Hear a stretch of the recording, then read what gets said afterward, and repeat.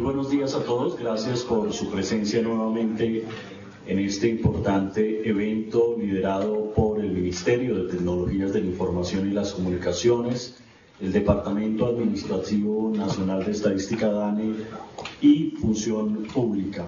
Hoy iniciamos nuestro segundo día, como les decía, del encuentro de gestión del conocimiento, experiencias que generan valor público. Recordamos a todos que estamos transmitiendo este evento desde el día de ayer a través de la plataforma Renata y el micrositio del evento. Antes de iniciar también quiero recordarles que todas las presentaciones desde el día de ayer, las que continúan hoy y las que finalizan en el día de mañana, al igual que todo el material, les va a ser enviado a los correos que registraron con anterioridad. En el día de hoy vamos a iniciar con una conferencia a cargo del señor coronel José Sarmiento del Ministerio de Defensa Nacional, quien nos hará una presentación de una de las propuestas que posteriormente serán analizadas en los talleres. Invitamos entonces al señor coronel José Sarmiento a pasar.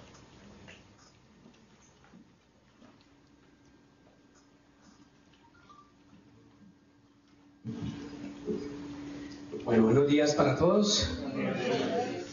Bueno, espero satisfacer, las expectativas que ustedes tienen con respecto a lo que estamos haciendo en gestión de conocimiento y específicamente también me voy a centrar mucho a lo que es la educación de la fuerza pública. Voy a, intentar aquí salirme un poco del burladero para que mi profesora de comunicación no me regañe por esconderme detrás del, la atril y además el atril es un poquito como, como más grande que yo cosas paradójicas de la Fuerza Aérea Colombiana. Ah, pues mejor todavía. Listo, vale, gracias. Ahora sí, ya a mi profesor. Bueno, muy buenos días para todos. Yo soy el coronel José Enrique Sarmiento. En ese momento trabajo en el Ministerio de Defensa, específicamente allá como asesor del señor ministro y de la señora viceministra Mariana Martínez Cuella. Y trabajo en una oficina en la Dirección de Desarrollo del Capital Humano, que maneja dos temas específicamente. Uno el que tiene que ver con toda la política para la gestión del personal, es el tema de todo el manejo del ciclo de vida de un uniformado, de un civil, y dentro de ese ciclo de vida que es transversal está el tema de la educación. Yo soy el coordinador de educación para toda la fuerza pública, a eso me gusta que veo un policial que hace parte de nuestro sistema, y vengo a contarles de dónde venimos. Yo específicamente soy, hace, desde hace 5 o 6 años, soy el gerente de learning para la fuerza pública, eh, hace 17 años por un, eh, yo digo un accidente, un accidente eh, laboral, me pasé de la parte de tecnología de información y comunicación de mi fuerza, pasé a, manejar el proyecto de educación virtual de la Fuerza Aérea Colombiana y hoy por eso soy el gerente del proyecto de Learning y pues por estar tanto tiempo metido un poco en la educación, soy el gerente o el director del grupo de educación, me acompañan eh, mis colaboradores del ministerio. Vamos a hablar de, de, todo lo que tiene que ver con la experiencia del Ministerio de Defensa Nacional en todo lo que es la virtualización y gestión de conocimiento. Pero primero lo voy a contextualizar de qué somos nosotros en materia educativa. Nosotros somos, y me parece decirlo, somos uno de los sistemas educativos más grandes que hay en el país. Estos son nuestros estudiantes. Nosotros tenemos 457.106 estudiantes a fecha mayo 17. ¿Y por qué hablamos de eso? Porque todo el mundo dice, no, pero esa es la planta que tiene las fuerzas militares. Claro, porque todos deben pasar por la educación. Deben pasar en todo el ciclo de vida. Desde cuando llegan a la escuela, a las escuelas con 16 años, 17 años, hasta cuando se retiran con 55, 55 años, que es el promedio, porque el que va a ser general tiene que pasar por una escuela y durar un año haciendo una maestría para poder ascender a general. Quiere decir que durante todas sus etapas de su ciclo de tiene que hacer educación, educación formal y educación para el trabajo, y eso es continuo, y es de todos los años. En la Fuerza Aérea en algún momento hicimos un ejercicio para saber cuánto tiempo, cuánto, cuántos eran los cursos por los cuales pasaba o rotaba un estudiante y el promedio era de cuatro cursos al año, pasa un oficial o un suboficial en el sistema educativo de la Fuerza Aérea. Ese es nuestro personal y nos debemos a todos para, para poderlos educar y cada uno pues tiene sus diferentes perfiles, sus diferentes especialidades, sus diferentes ejercicios Nosotros siempre le decimos, yo siempre lo digo que el, Ministerio de Defensa Nacional es un país chiquito que lo que se puede desarrollar dentro de ese país chiquito funciona en Colombia, porque manejamos temas desde salud, temas de acompañamiento de la ciudadanía en todas las áreas. Entonces tenemos muchísimas especialidades, muchísimas eh, áreas en las cuales se deben desempeñar nuestros oficiales, suboficiales y personal civil. Bien. Ese es nuestro sistema educativo. Solamente en lo que hablamos de infraestructura educativa de escuelas. Nosotros tenemos 82 instituciones educativas mal contadas porque algunos, en algunos casos no las contamos con instituciones educativas, pero un avión es una escuela, un equipo de vuelo es una escuela, entonces allá le llamamos la escuela de fantasma, la escuela de capir, la escuela de helicóptero, porque cada una de ellas tiene una especificidad para formar a una persona. Por ejemplo, en capir, para formar un piloto de capir nos demoramos aproximadamente 7 o 8 años, y eso es lo mínimo que debe estar ese estudiante allá todos los días volando eso. Pero le llamamos escuela porque tiene unos programas académicos, tiene una rigurosidad para poder volar esa aeronave. Y cuando termina ahí, pasa a ser instructor automáticamente. Entonces, este es, un tema que a esa escuela no le llamamos escuela porque no tiene unos componentes rigurosos de una escuela, una institución educativa, y por eso no está contada dentro de estas 82. De esas 82 instituciones educativas, 15 son instituciones de educación superior.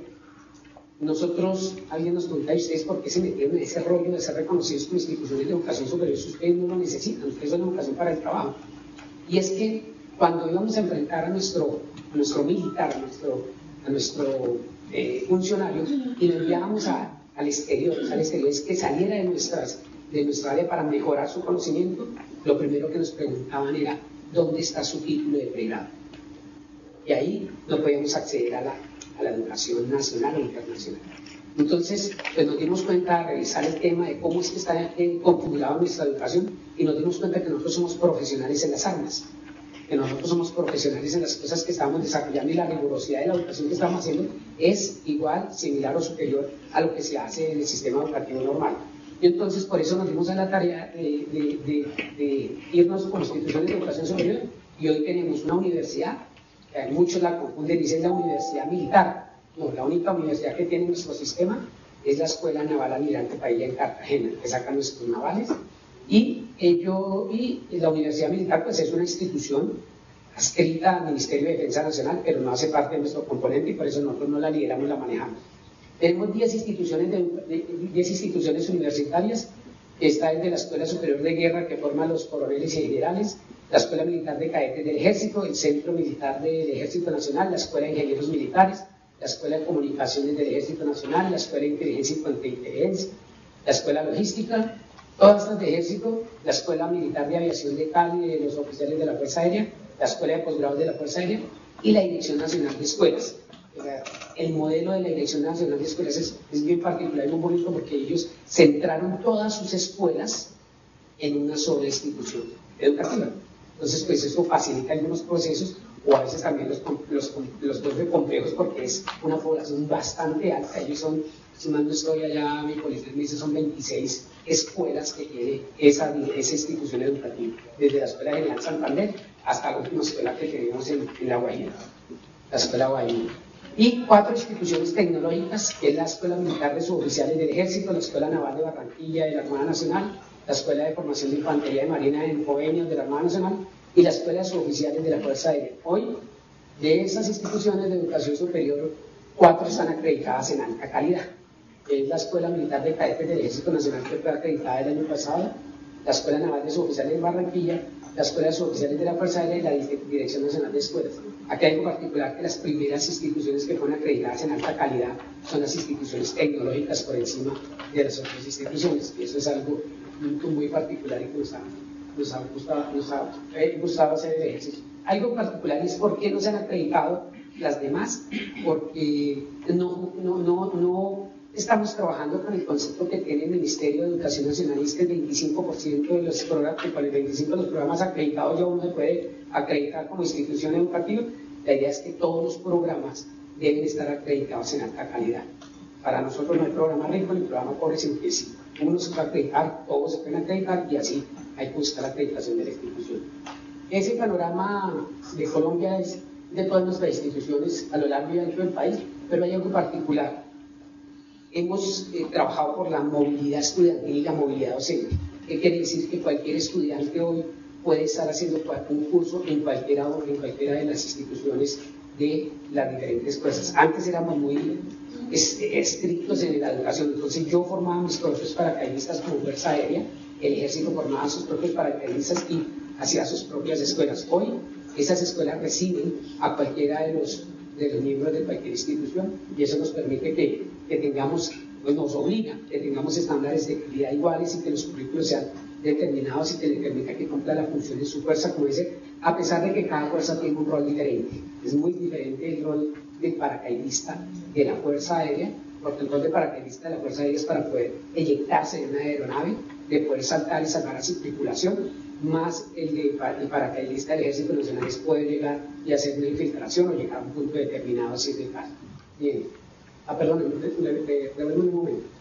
Y nos quedan, de esas 82, que son 15 instituciones de educación superior, son 67 instituciones de capacitación, instrucción y entrenamiento, lo que denominamos nosotros que hacen educación para el trabajo, a pesar de que las otras también lo hagan.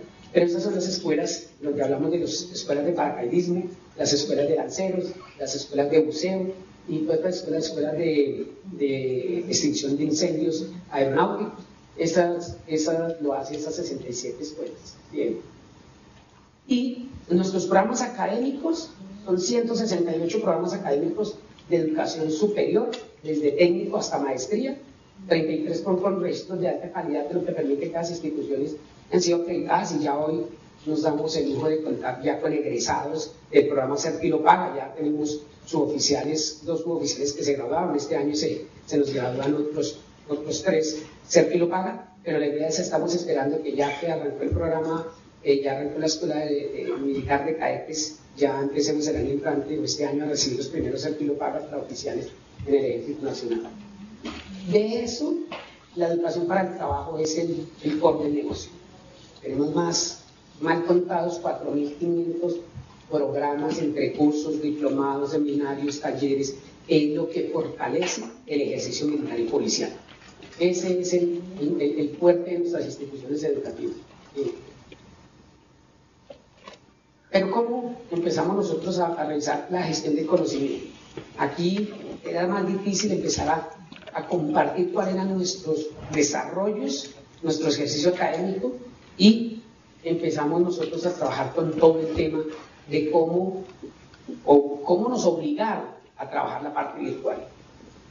Cuando el conflicto se empieza a recrudecer hace, algunos dicen que hace 5, hace 10 años, para nosotros hace como 20 años, nos obligan a que los cursos de ascenso se tienen que empezar a reducir. Específicamente en la fuerza fue muy traumático porque los oficiales que iban a hacer el curso hacían un curso de nueve meses o de un año. Y el Estado no se puede dar el lujo de tener una persona, un piloto de un helicóptero parado durante nueve meses o un año o solamente poniéndolo a volar los fines de semana. Entonces aquí es donde empezamos a abordar los modelos de la educación a distancia y empezamos con lo oficio. Y entonces a nosotros nos tocaba imprimirle las cartillas a todos nuestros oficiales, enviárselas, pero aquí el tema del correo en Colombia ha sido también traumático. Entonces enviar eh, los manuales o las cartillas hacia Tres Esquinas, hacia Leticia, hacia las, hacia las zonas más eh, donde están nuestras unidades aéreas, pues era muy difícil. La gran ventaja es que nosotros teníamos aeronaves y podíamos llegarle con el documento. Era un documento físico. Y ya después de eso, pues empezamos con el medio digital yo sé que para algunos es reconocido ese, ese símbolo, para los jóvenes como Laurita, pues no sabe qué es ese símbolo, es un símbolo, para ella es una USB grande. Sí, para nosotros lo que conocimos, pues eso era mucha tecnología, porque realmente yo me atreví a colocar algo muy moderno, que era ese, ese disquete de 3,5, pero les mandábamos a ellos en disquete de, 8, de 8 pulgadas, era el grandote. Bueno, aquí Nicolás, como yo le habla de 5 par, pues no alcanzó a conocer de 8 pulgadas, pero le dábamos la información en 8 pulgadas. Y siempre teníamos problemas, porque algo que sí tenemos en la fuerza pública desde hace mucho tiempo es el detector de metales. Y apenas le pasaban ese aparatito, era un imán, ya se perdía todos los contenidos y tocaba volver a enviarlos. Eso era un problema, yo creo que más de uno dice, sí, así nos pasaba. Pero entonces empezamos a abordar y ya les enviamos a ellos el material digital ya nos damos el lujo de tener un digital y se los enviamos por, por disquete. Ya cuando llegamos a, a la época moderna, lo llevamos por, por esta y cuando empezamos a ver que entró en el mundo de la multimedia, ya empezamos a mirar que podíamos enviar videos, que ya no teníamos que estar escribiendo ese manual tan, tan largo, sino que era ir a grabar algo y poderlo colocar aquí, o graficarlo en multimedia. Entonces, cuando ya empezamos a abordar el tema de la multimedia, gracias a Dios no alcanzamos, empezamos a hacer el primer curso, ahí es cuando alguien nos menciona que habían plataformas virtuales. Y estamos hablando del año 99. O sea, cuando Internet aquí en Colombia era muy, muy pobre. Pero había una universidad en Manizales que manejaba el tema virtual y ellos lo trabajaban a través de una plataforma que se llamaba Learning Space en esa época de la, de la compañía Lotus. Y ellos nos prestaron unas aulas. Claro, era dificilísimo la conexión de Internet. Hoy estamos en la gloria y muchos peleamos porque el Internet es malo, pero en esa época, en el 99, pues eso era bastante rudimentario. Pero ahí empezamos a crear nuestros propios cursos. El Ministerio de las Comunicaciones en esa época nos, nos, nos, dio un recurso, pudimos comprar nuestra propia plataforma, nuestro, nuestro servidor, que era simplemente un PC con una pantalla y con una tarjeta red, y ahí empezamos a publicar nuestro contenido. Y empezamos, pero también ahí es donde empezamos a vivir el tema de las plataformas. Encontramos por casualidad WebCity, nos metimos a esa plataforma y cuando ya estábamos bien juiciosos con la plataforma, desarrollando contenidos, montando aulas, eh, a WebCity le dio porque, porque se encontró con un amigo Blackboard y se lo comió. Y entonces se comió a Blackboard y entonces ¿qué nos tocó hacer? Una plataforma perfecta, hermosa que teníamos nosotros y la cultura de nosotros siempre es agarrarnos a lo que funciona y no salimos de ahí porque estamos cómodos, ese estado de confort, entonces que tocó cambiar. Entonces nos tocó pasar desde el año 6 es empezar a, buscar los mecanismos para pasar los contenidos y ese conocimiento ese que nos se dañara y lo perdieron y así fuimos trabajando. Pero ahí, esa es la experiencia de, de, Fuerza Aérea. Aquí ya para esta época también empezamos a ver que las fuerzas, como Policía Nacional, también habían arrancado sus procesos de educación virtual. Pero lo más curioso es que cada escuela hacía lo suyo. Bien. Y entonces encontrábamos que una escuela trabajaba con el Cloud Online, otra escuela, esas son unas de nuestras escuelas de lo que les contaba las 82 instituciones. Siguiente, otra por allá trabajaba con Docker, otra trabajaba con Google Docs y ahorita algunas, algunas terminaban de hacer ejercicio, otras trabajaban con Moodle y otras trabajaban con Blackboard. Y nos tocó empezar a tomar la decisión de empezar a unificarlo. ¿Por qué? Porque es que nuestro estudiante que estaba en una escuela estaba trabajando con Claro Online, pasaba a otra escuela o estaba al tiempo en dos escuelas, porque eso nos pasa a nosotros. Estamos haciendo un curso de ascenso, pero estoy haciendo un curso de inteligencia o estoy haciendo una maestría y está en el mismo sistema. Pero estar pasando de, de plataforma en plataforma era, una, era muy complejo. Aquí tomamos la decisión y afortunadamente pues no hay mucho que discutir cuando, cuando está el mando y cuando está alguien que pone la plata. Porque como esto es de recursos, casi ninguno tiene los recursos y todo tocaba con plataformas gratis y sufre. Pero ¿quién es el que sufre definitivamente? El estudiante.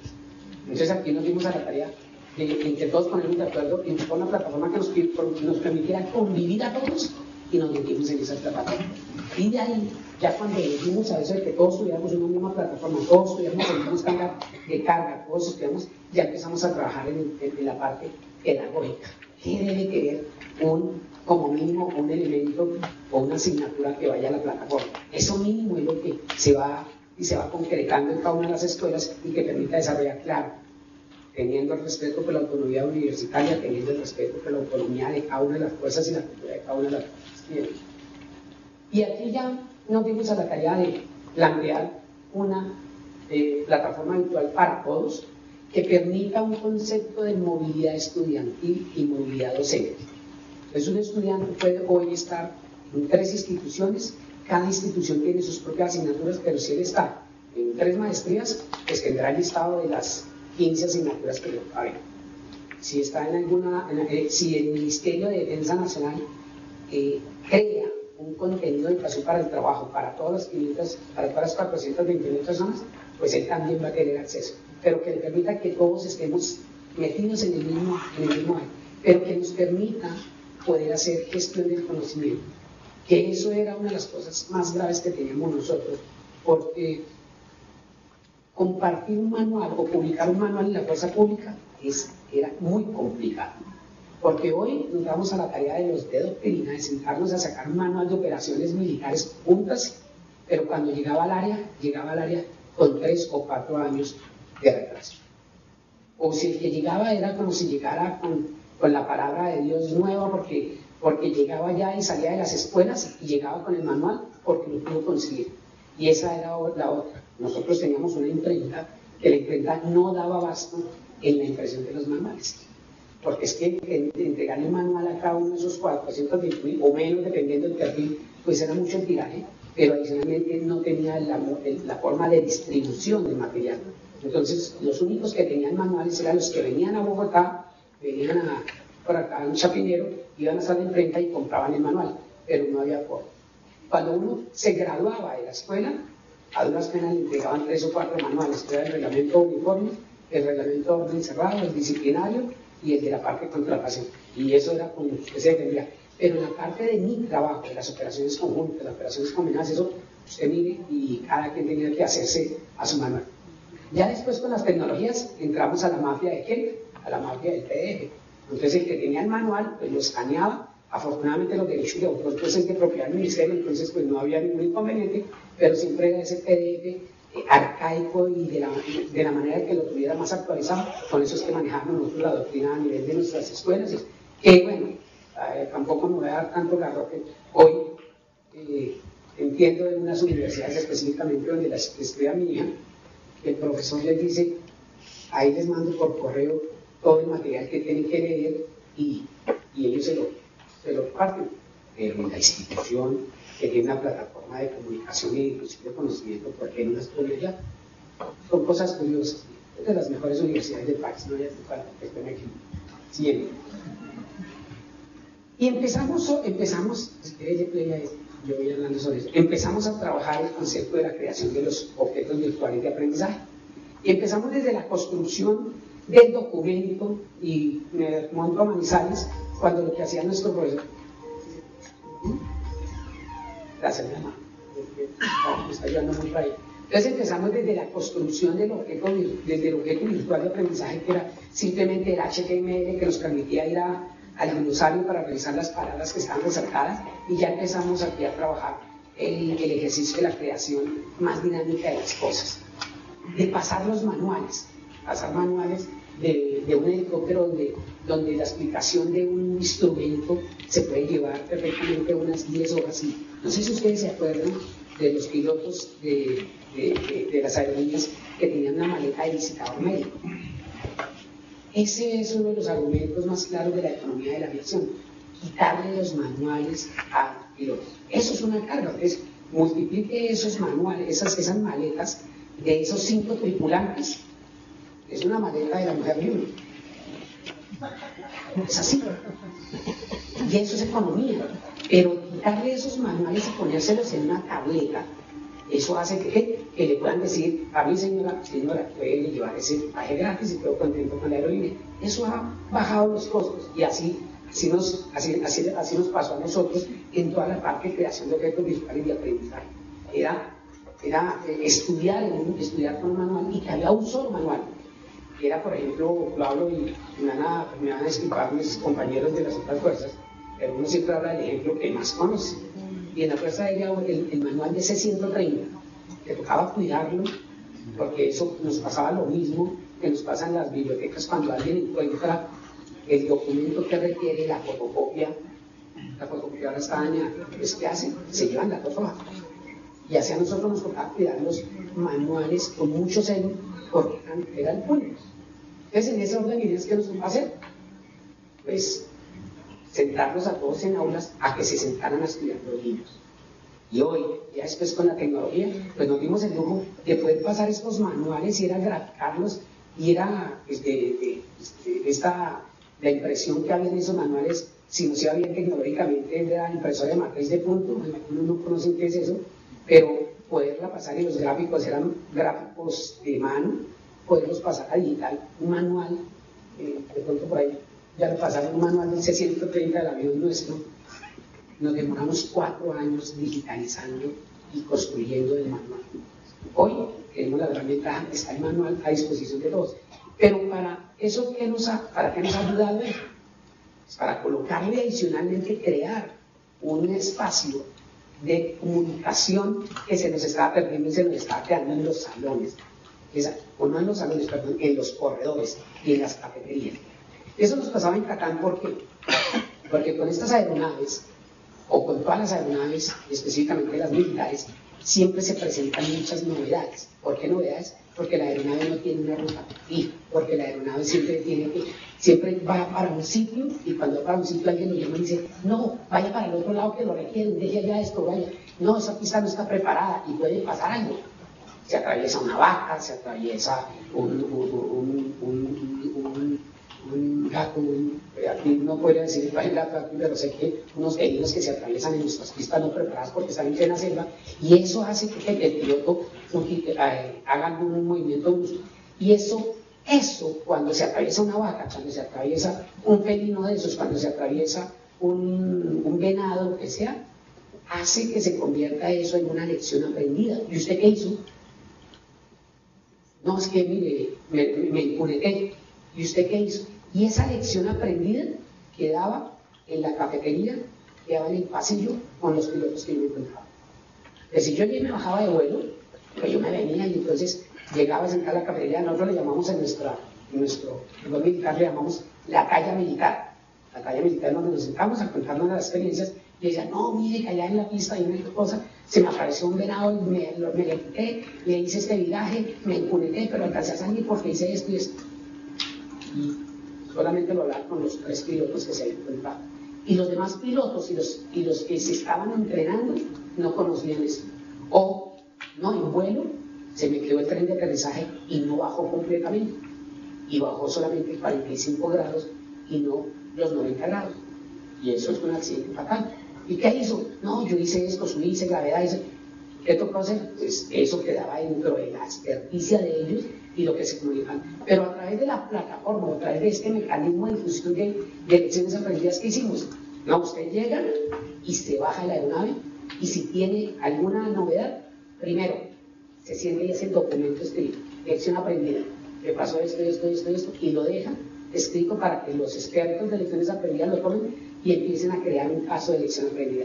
Pero a su vez se va a su curso, y usted también es estudiante, porque siempre los pilotos siempre tienen que estudiar antes de salir y después de que llegan tienen que estar, estar continuamente estudiando, tienen que cargar la lección aprendida en el curso para que el instructor y todos los que están en ese curso sepan qué es lo que está pasando. Entonces, en cada curso de vuelo, tanto de ejército, de armada, de fuerza aérea, policía nacional, tienen un aspecto que se llama lecciones aprendidas para que eso nos vaya permitiendo hacer los manuales de operación y poder actuar sin, sin, sin accidentabilidad. La, la, aviación militar es de las de casi no tiene accidentes. Los accidentes que uno ve es cuando se pone en las demostraciones aéreas, es donde más accidentes de uno por la exigencia de los aviones muchas veces.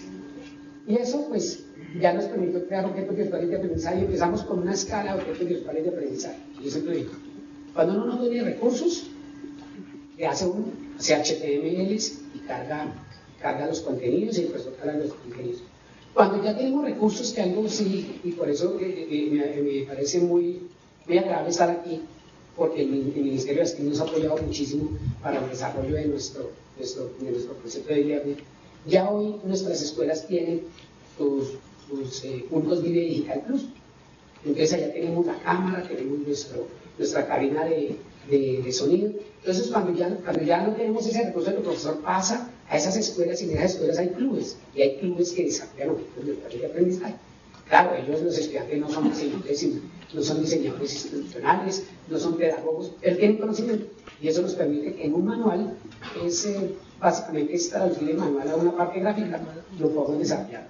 Cuando ya tenemos algo de, de recurso y podemos apalancar, entonces nos vamos a, a nuestras propias instituciones que tienen centros de creación de contenidos, como es la Policía Nacional que tiene un excelente centro de contenidos, entonces ahí le damos un recurso para que puedan contratar los instructores pedagógicos, los asesores pedagógicos, los instructores, los diseñadores instruccionales, y ellos nos hacen un contenido mucho más profesional.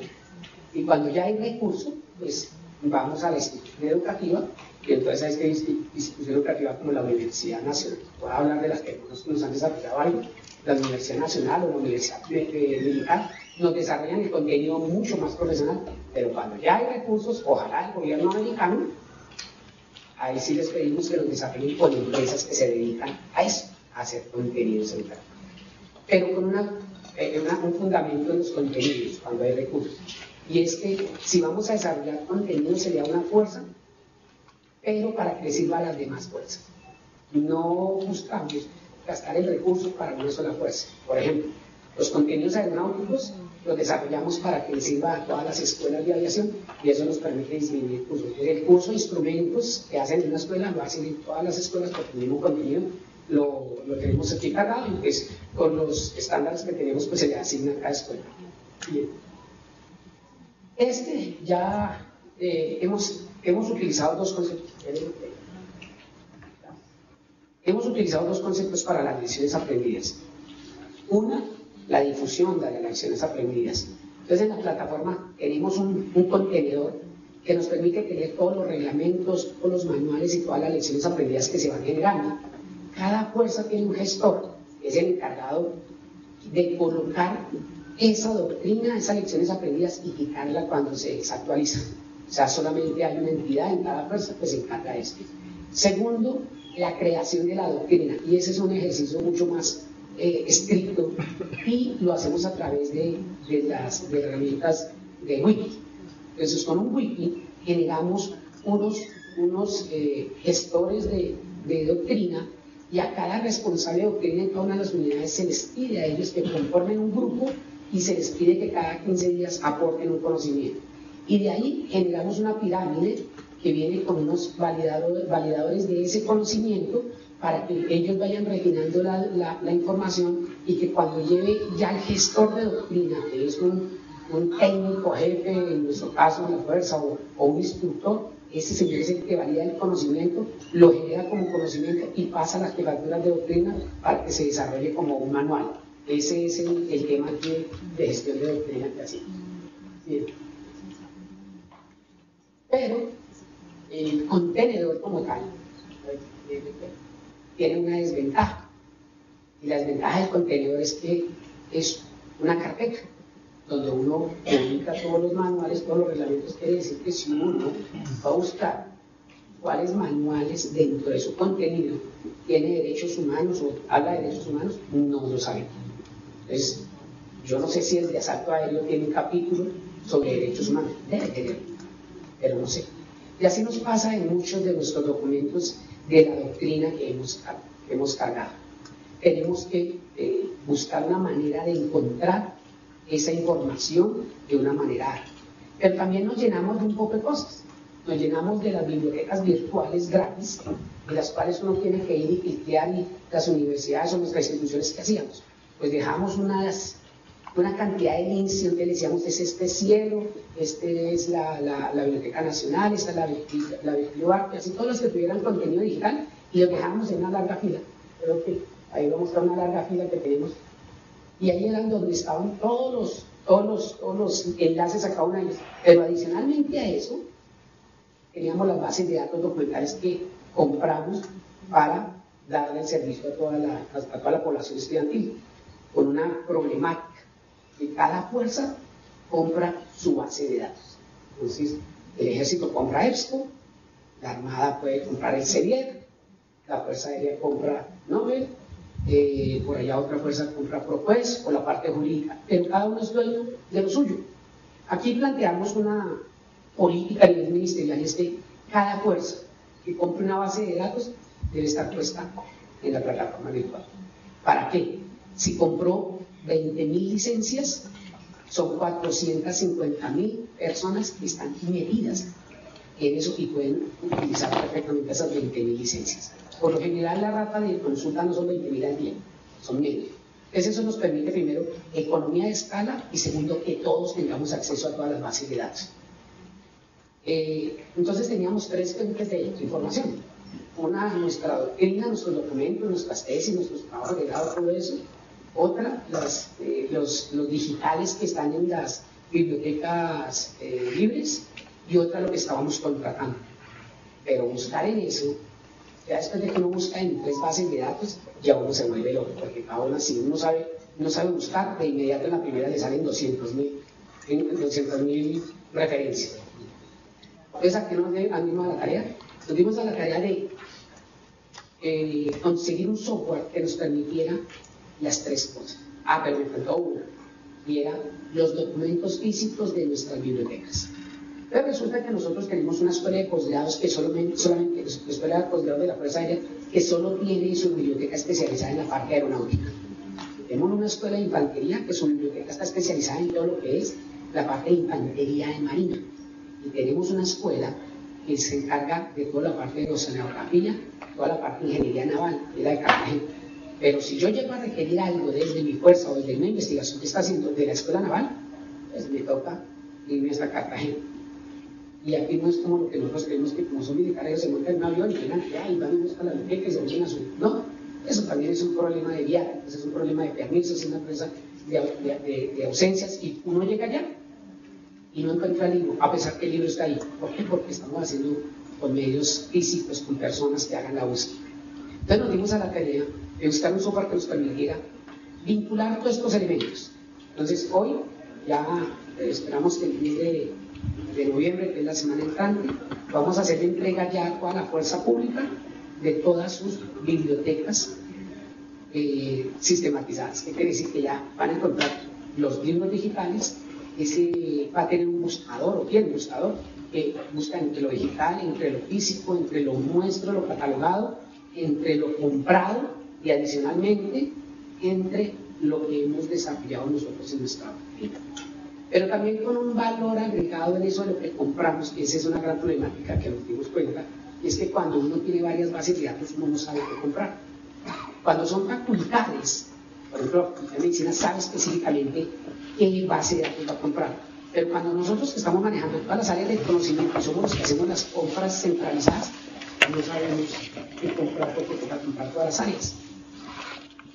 Dentro de esta herramienta lo que hicimos fue buscar la manera que esa misma herramienta nos haga la revisión de todas las bases de datos y nos revise qué estamos comprando repetitivamente. Para decirle al proveedor, no, yo ya compré esto allá, entonces no me lo ve, o deme otra cosa. Eso es algo muy difícil de hacer, a no ser que uno lo tenga por ocurrencia, pero eso es un caso particular.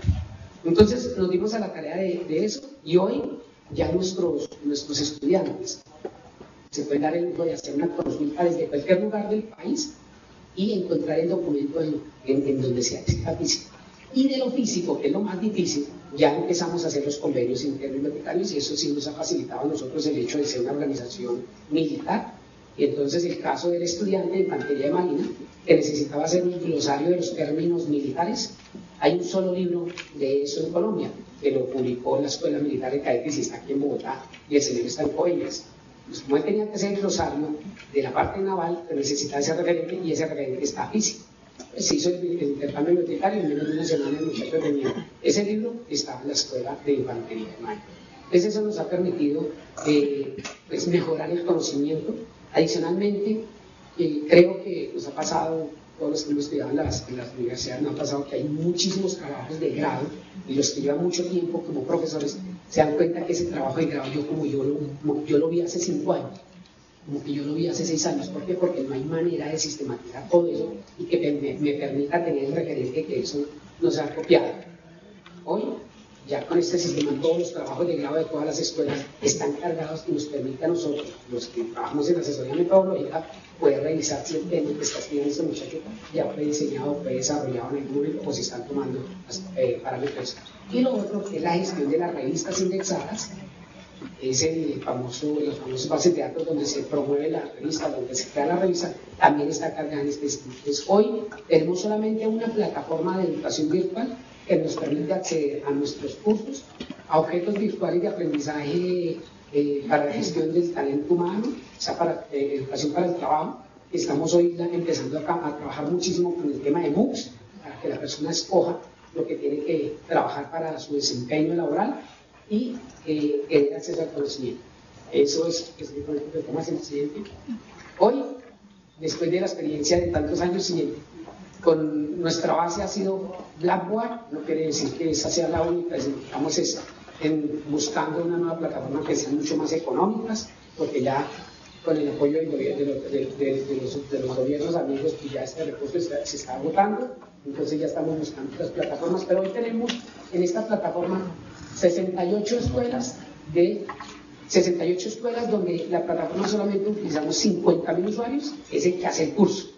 Pero la plataforma nos permite que tengamos 304.000 personas que pueden estar haciendo cursos como MOOCs, porque los MOOCs no se cuentan como usuarios, afortunadamente para nosotros. Es decir que estas 304.000 personas que están incluidas en la plataforma hoy, ellos tienen acceso a todo lo que les he estado contando. Hoy tenemos 19.253 asignaturas desarrolladas en todo el sistema educativo, asignaturas que tienen contenido, que tienen evaluación y que tienen tutor.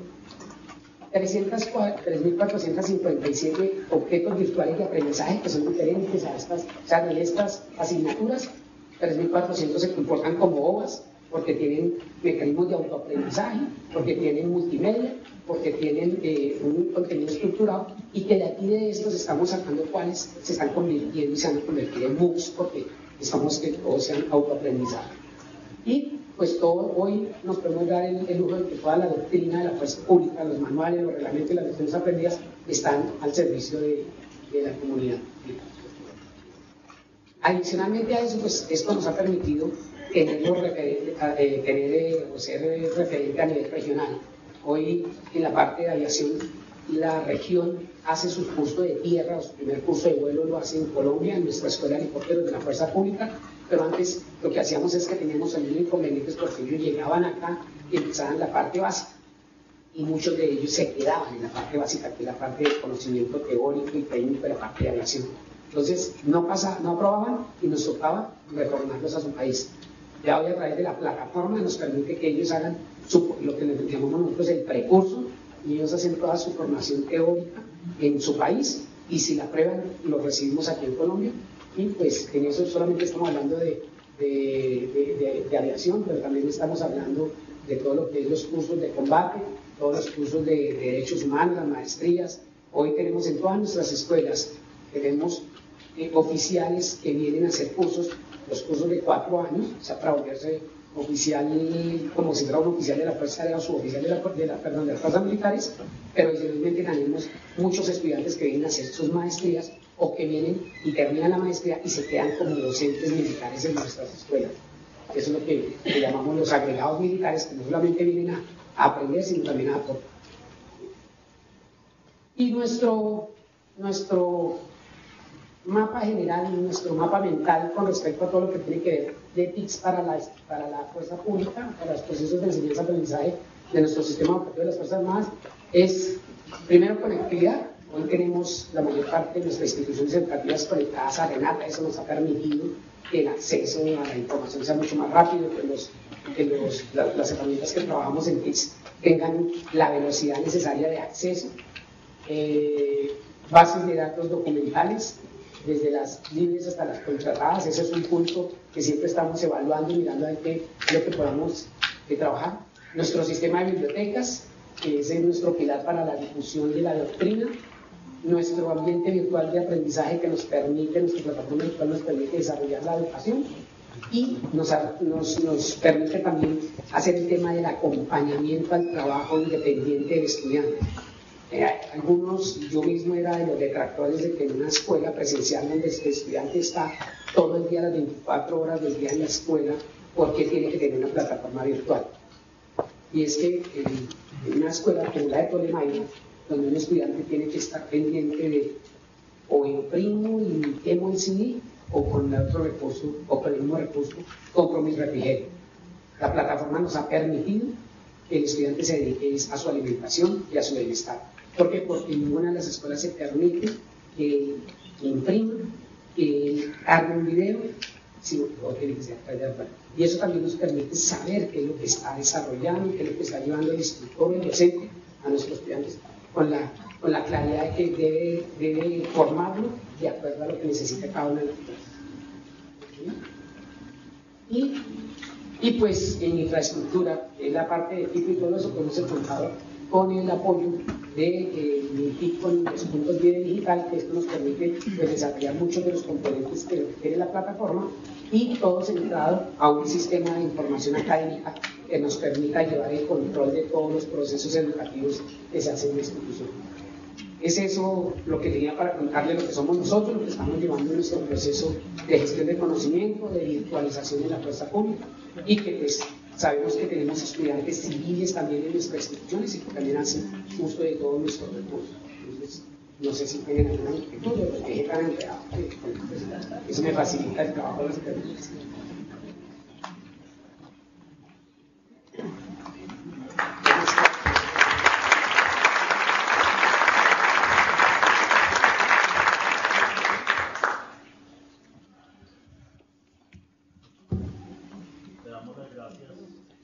al señor coronel José Sarmiento de la Fuerza Aérea Colombiana. Y ahora vamos a pasar a nuestro tercer eje que consiste en la analítica institucional, un eje con el cual se busca que dentro de las entidades se implemente el análisis de datos y la información para la toma de decisiones efectivas y con criterio por parte de los tomadores de decisiones en las mismas la metodología la recordamos como en las jornadas anteriores. Hay cuatro presentaciones magistrales, cada una de 15 minutos, referentes a las experiencias que cada uno de los ejes generan un valor público. Y durante el refrigerio, cada una de las eh, personas que hacen parte del auditorio pueden eh, escoger en cuál eh, de los talleres quieren participar y profundizar en cada una de estas presentaciones. Eh, los ejes que vamos a presentar en el día de hoy son los siguientes. Función pública tendrá a su cargo la experiencia de la analítica del FURAC, el Departamento Administrativo Nacional de Estadística con su experiencia de recolección y análisis de datos, el Ministerio de Educación Nacional por medio de su estrategia de Repórtate y Ecopetrol a través de la formulación de indicadores de gestión del conocimiento. Para iniciar este tercer eje del día de hoy le damos la palabra a Diego Beltrán, el director de gestión del conocimiento de función pública.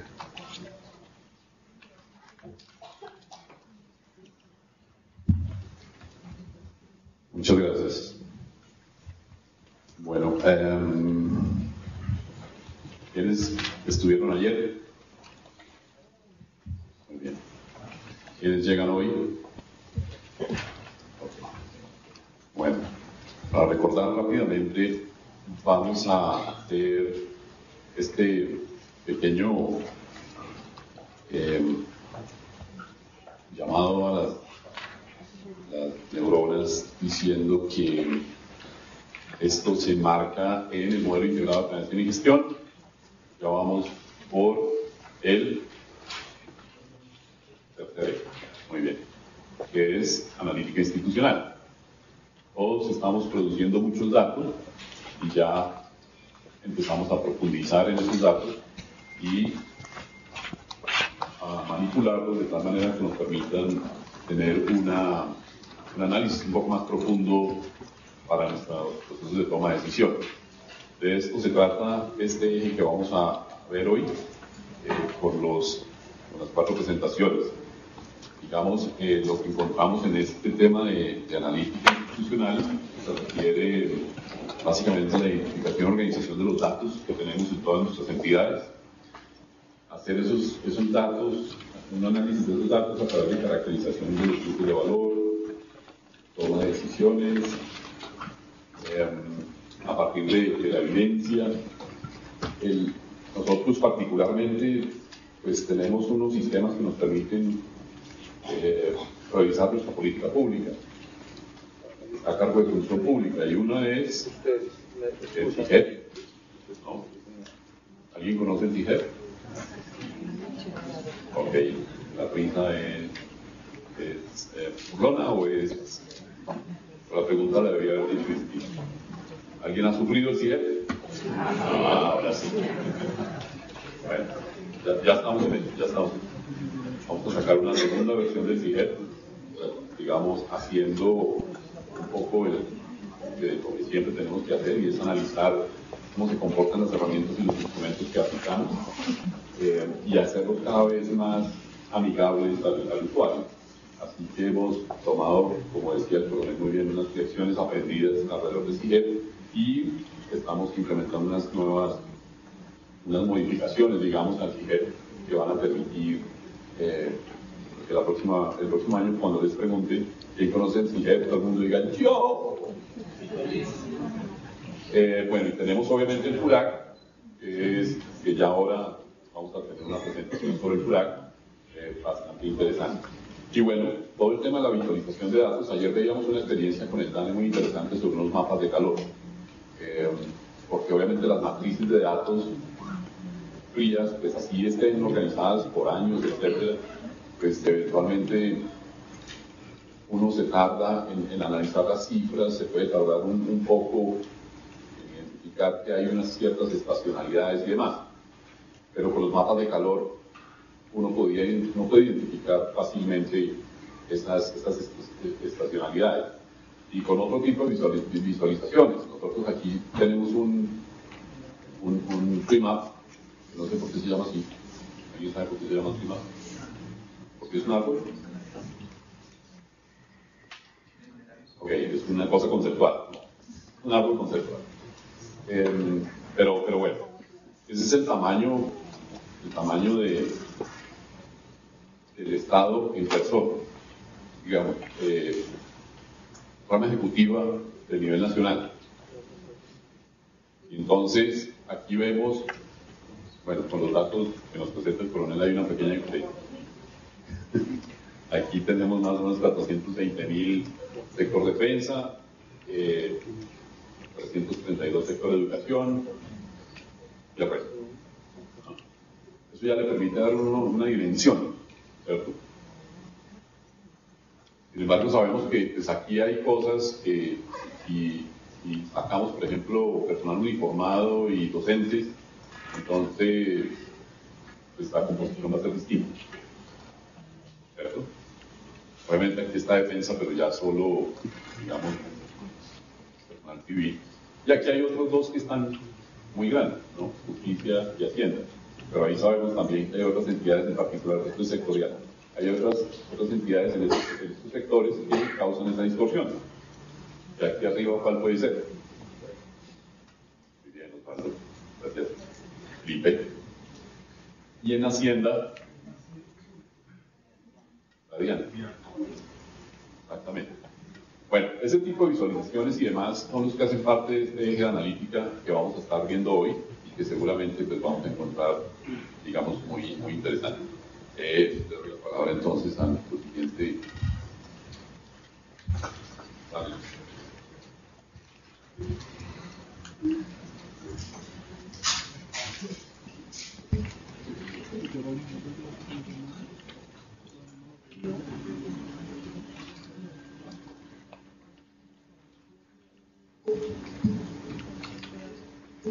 Buenos días para todos. Un especial agradecimiento a los organizadores. Eh,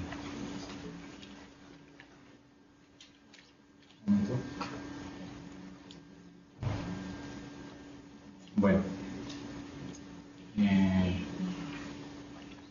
empezar con una pequeña reflexión. Eh, ¿Para qué existen las entidades públicas? ¿Cuál es su razón de ser? Yo creo que podríamos resumir la respuesta en las siguientes tres razones. Existen o para satisfacer una, una necesidad, para resolver un problema o para garantizar un derecho. En estas tres razones podemos enmarcar eh, la razón de ser de cualquier entidad pública. Y partiendo de este hecho, es claro que todas las entidades públicas directa o indirectamente afectan en alguna medida el bienestar de los ciudadanos. Y como lo presento a continuación, eh, en esto se ha basado eh, 2 y por supuesto el modelo integrado de planeación y gestión, MPG. Recordemos rápidamente la estructura de MPG. Eh, en primer lugar tenemos la institucionalidad, definida como el conjunto de instancias eh, que definen las reglas y las políticas que permiten que MPG funcione y logre sus objetivos. Luego tenemos la operación de MPG, eh, aquí básicamente se establece que el punto de partida de cualquier entidad pública son las necesidades y problemas que debe resolver, para luego concentrar toda su operación y generar productos, bienes o servicios que resuelvan esas necesidades. Y a todo este fenómeno es a lo que llamamos valor público. Eh, y finalmente tenemos la medición del IPG. Mm, aquí nos vamos a concentrar durante eh, toda la presentación, eh, pero en términos generales, como lo representa la figura, lo que medimos es cómo opera IPG en cada entidad. En última instancia, ¿qué buscamos con IPG? ¿Cuál es ese gran propósito que perseguimos? Yo lo resumo en incrementar el nivel de bienestar de la población en cada región del país. Eh, eso es lo que perseguimos, ese es el gran propósito. Esto se deduce del hecho de que si cada entidad trabaja bajo el enfoque de mi PG, más problemas y más necesidades serán resueltas. Y como consecuencia la población gozará de un nivel más alto de bienestar. Lo que naturalmente se verá reflejado en los diferentes indicadores de bienestar como el de felicidad, de pobreza, desigualdad y demás. Tomemos por ejemplo el índice de desarrollo humano. Este es un índice sintético elaborado por el PNUD, el Programa eh, de las Naciones Unidas para el Desarrollo, eh, y mide los logros medios obtenidos en tres dimensiones fundamentales del desarrollo humano. Salud, educación y riqueza. En términos generales, eh, un valor más alto del IDH se puede interpretar como o mayor esperanza de vida o una tasa de alfabetización más alta o un incremento de PIB per cápita, o una combinación de alguna de estas tres eh, cosas. La gráfica presenta la evolución de este índice para Colombia durante los últimos años. Eh, aplicando el propósito, el gran propósito de MPG, en este caso, por ejemplo, eh, sería contribuir a lograr un comportamiento como este. pero como todos lo sabemos y como es natural, eh, existen muchos posibles comportamientos y algunos claramente con mayor probabilidad. La cuestión aquí es cómo eh, podemos acercarnos al comportamiento que queremos, al comportamiento deseado, por lo menos cómo podemos aumentar eh, la probabilidad.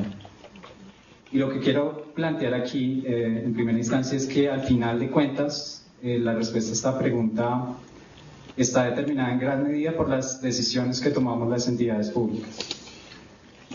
Cada día en nuestras entidades nos enfrentamos a, la toma de decisiones de, todo tipo, de mayor o menor responsabilidad, eh, de alta o baja complejidad, pero que de cualquier manera son decisiones que van marcando un camino, el camino a seguir para alcanzar los objetivos que esperamos. Este es el, poder, este es el verdadero poder de las decisiones. Siguiendo esta lógica, lo que deberíamos resolver entonces es cómo decidir ante un escenario de múltiples alternativas eh, y con el eh, cómo podríamos elegir eh, la decisión más, la, alternativa más eficiente, la que nos permite alcanzar nuestro objetivo con el mínimo de recursos. Y aquí es donde los datos, y especialmente el análisis de los datos, juegan un papel fundamental, que como vamos a ver, y con el tratamiento adecuado pueden convertirse en una muy poderosa herramienta para mejorar la toma de decisiones. Este es precisamente el propósito de mi PG, capturar los datos necesarios, transformarlos en información útil y finalmente en acciones concretas. Tomar decisiones sin información o lo que podría ser aún peor con información de baja calidad claramente puede traer graves consecuencias y peores en un contexto como el nuestro. Eh, para ilustrarlo, permítanme presentar un muy evidente ejemplo, pero eh, importante para, para, para ilustrar el tema. Y ese caso es el escenario más simple, en el que tendríamos que elegir entre dos alternativas posibles. Decidir sin información es equivalente a obtener cara en un lanzamiento de una moneda. Y si consideramos un escenario con más alternativas y sin información, la probabilidad de elegir o de decidir correctamente se deteriora y se deteriora aún más eh, cuando la tomamos con base en información de baja calidad. El punto con este ejemplo es que no basta tomar decisiones a partir de información, sino que debemos asegurar la calidad de la información. El éxito eh, de la toma de decisiones basado en datos depende de la calidad de la fuente, eh, de la calidad del análisis y del uso que le demos a la información que generamos a partir de este análisis. Y por esas razones que hemos venido trabajando en aumentar la calidad de todo el proceso de medición, con las 10 entidades líderes de política del modelo integrado de planeación y gestión. Veamos en qué consiste exactamente el análisis de datos y cómo funciona nuestro caso. Según Marshall y Rosman, dos importantes investigadoras en este campo, eh, podemos entender el análisis de datos como el proceso de llevar orden, estructura y significado a la masa de datos recopilados. Y complemento con otra definición interesante ofrecida por el profesor holandés Manade. El análisis de datos es una actividad estratégica que debe ser planeada de antemano. Adicional a esto, vale la pena señalar que el análisis de datos tiene múltiples facetas y enfoques y abarcan una variedad una serie de técnicas cuya utilidad depende del problema particular que estemos analizando. Partiendo de estas definiciones y de lo presentado hasta el momento, veamos ahora cómo funciona exactamente nuestro proceso. Este es el proceso de cuatro etapas que hemos diseñado para la implementación de la medición de mi PG, que como se puede observar no es muy diferente al proceso tradicional. Eh, lo describo de manera general. A través del FURAC 2 capturamos los datos necesarios para estimar una medida del desempeño para cada entidad. Estos datos son transformados a través de una serie de técnicas entre las que vale la pena destacar el modelo de respuesta gradada y las viñetas de anclaje. Y como resultado tenemos el índice sistémico de desempeño institucional, el ISTI, y los informes eh, de resultados. Con base en esto, eh, pues lo que sigue se, puede dividir o se puede agrupar en dos, en dos cosas. La primera es para las entidades miembros del Consejo de Gestión y Desempeño y está orientada más a la definición de estrategias de acompañamiento a las entidades y a la formulación o reformulación de políticas. Y en segunda instancia, todas las entidades a que, que son objeto de evaluación nacionales y territoriales pues, podrán definir sus planes de acción con base en estos resultados. ¿Qué es el curar? ¿Qué es el curarlos? Eh, entonces,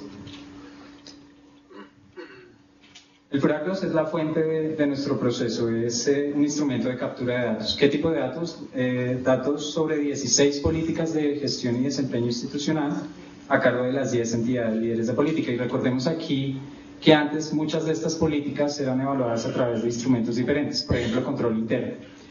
Eh, así que la simplificación de reportes es otro beneficio eh, del PURAC 2. Vale la pena destacar aquí también que si sumamos eh, los instrumentos que, anteriormente evaluaban estas 16 políticas, obtenemos alrededor de 700 preguntas. como resultado del, del, análisis realizado para mejorar la calidad de este instrumento, tenemos dos grandes componentes del PURAC. Uno, tiene que ver con, con, un conjunto de preguntas de percepción que será aplicado, o en este momento se está aplicando a una muestra representativa de personas en cada entidad. Eh, y este es un cuestionario de 50 preguntas que toma alrededor de 15 minutos. Y el segundo componente eh, es un conjunto de preguntas de evidencias eh, aplicadas a los responsables al interior de cada entidad. Y como su nombre lo indica, son preguntas que deben ser evidenciadas de alguna manera. No sé si aquí alguien ha recibido la primera encuesta, la de percepción. Varios son. Pues de eso se trata, son afortunados. Eh, bueno, la siguiente etapa. Bueno, esta es la etapa de transformación de los datos capturados. Por tiempo solo alcanzo a presentar eh, brevemente la técnica de viñetas de anclaje eh, y esta es una técnica aplicada solamente a la encuesta de percepción. Consideremos un, un ejemplo para, para, para entenderlo. Si, quieres, si quisiéramos evaluar la calidad del audio de este auditorio, es razonable preguntar a todos los que estamos aquí nuestra opinión. ¿Por qué? Pues porque estamos aquí y lógicamente podríamos eh, eh, explicar o aportar información valiosa para construir un diagnóstico sobre la calidad de la información. Eh, resulta que algunos podríamos coincidir, pero otros eh, seguramente tendríamos respuestas diferentes. Y esto se debe, entre otros factores, a que cada uno de nosotros tiene conocimientos diferentes sobre el tema. Eh, criterio diferente, ubicación diferente, estado de ánimo diferente y algunos son más extremos que otros.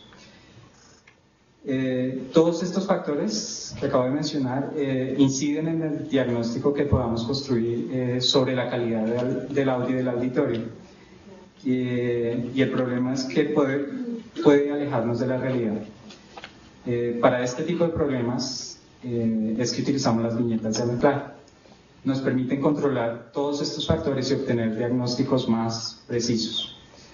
las dos etapas finales del, del de este proceso van a ser desarrolladas en el taller que está programado después del break. Eh, finalmente, lo que yo quisiera concluir es que la recompensa de todo este proceso es lograr transformar datos en acciones con las que podemos mejorar la gestión pública. Muchas gracias.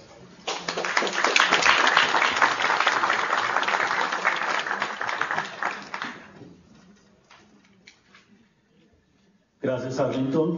Y ahora le vamos a dar la palabra a Oscar Guerra, él es el jefe del Centro de Estrategias de Aprendizaje de Ecopetrol. Es el responsable de liderar, consolidar y asegurar el modelo de aprendizaje y desarrollo de Ecopetrol, así como el modelo de gestión del conocimiento, los cuales eh, permiten lograr los objetivos estratégicos empresariales, operar con excelencia, mejorar la productividad y lograr el desarrollo integral y la proyección de los colaboradores en Ecopetrol. Entonces le damos la palabra a Oscar Guerra de Ecopetrol.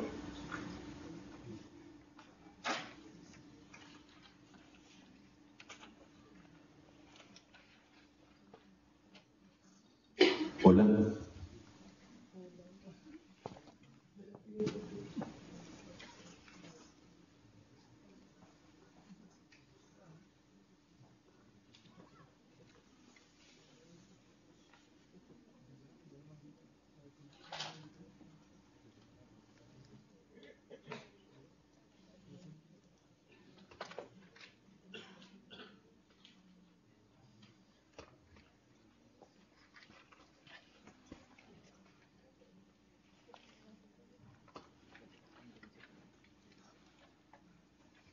Bueno, muy buenos días.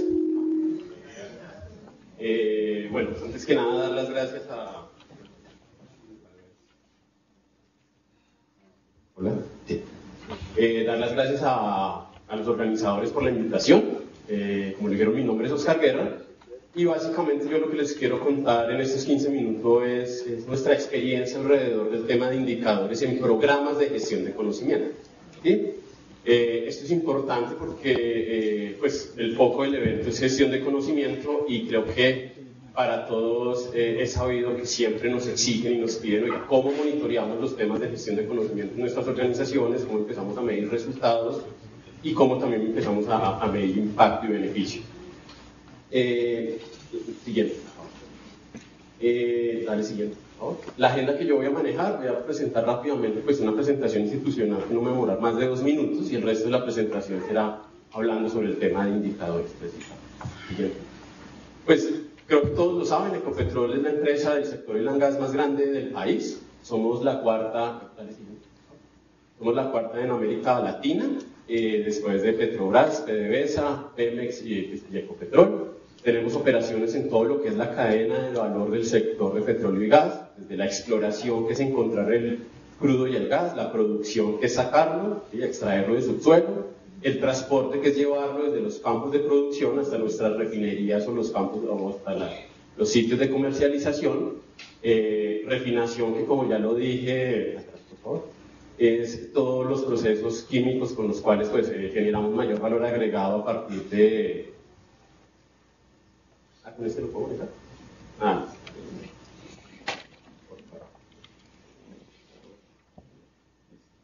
Con los cuales, eh, con los cuales generamos mayor producto de valor, valor mayor agregado, suministro y mercadeo, pues, que es la comercialización de todos los productos a nivel nacional e internacional, y también contamos con un centro de investigación y desarrollo, que es el Instituto Colombiano del Petróleo, que se encuentra en la ciudad de Piedecuesta, en Santander. Adicionalmente, pues tenemos una serie de procesos habilitadores, por así decirlo, pero podríamos decir que estos son nuestros procesos. Como grupo empresarial tenemos operaciones en Colombia, Perú, Brasil, el Golfo de México. Como grupo empresarial somos más de 30 empresas. Eh, aquí ustedes pueden ver algunas de ellas. Y pues en Ecopetrol, como Ecopetrol S.A., eh, tenemos alrededor, somos alrededor de 9.500 colaboradores directos, más de 20.000 colaboradores indirectos, lo cual hace que la planta total de Copetrol estamos alrededor de 30.000 trabajadores. Por lo tanto, pues el tema de gestión de conocimiento pues es muy importante para nosotros.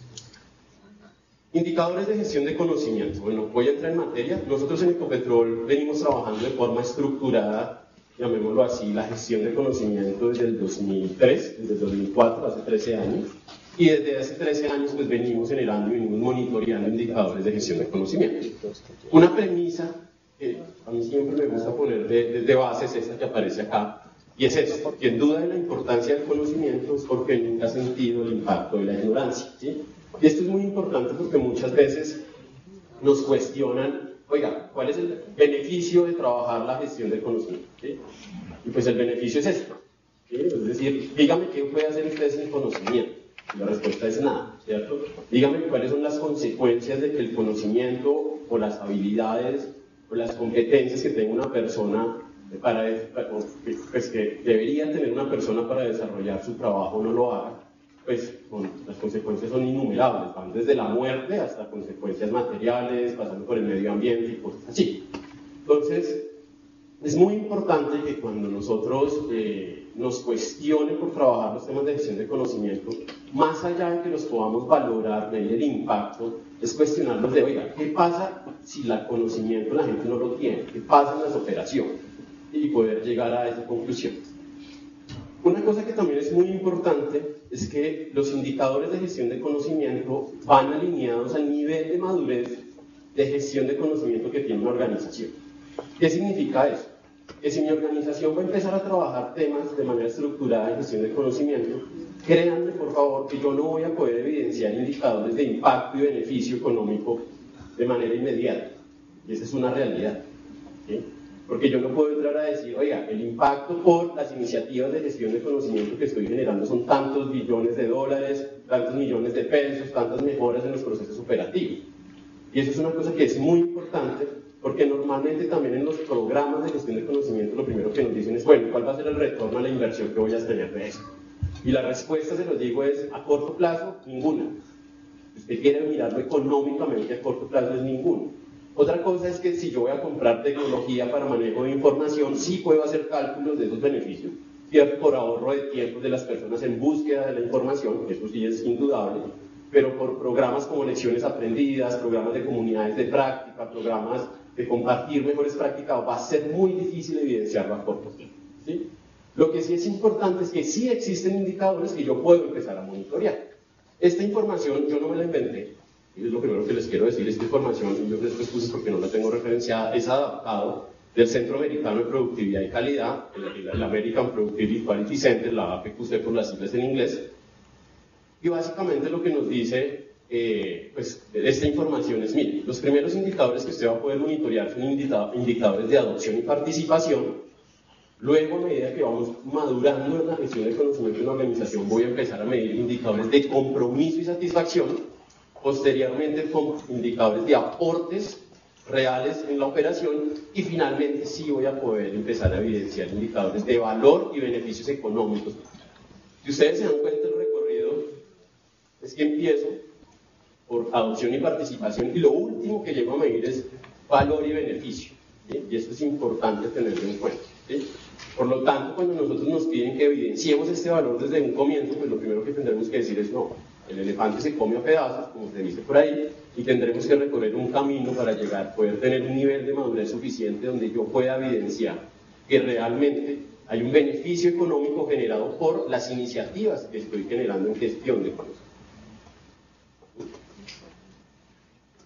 Entonces, eh, aquí lo que yo voy a presentarles es indicadores sugeridos en cada uno de esos elementos, para que ustedes los conozcan.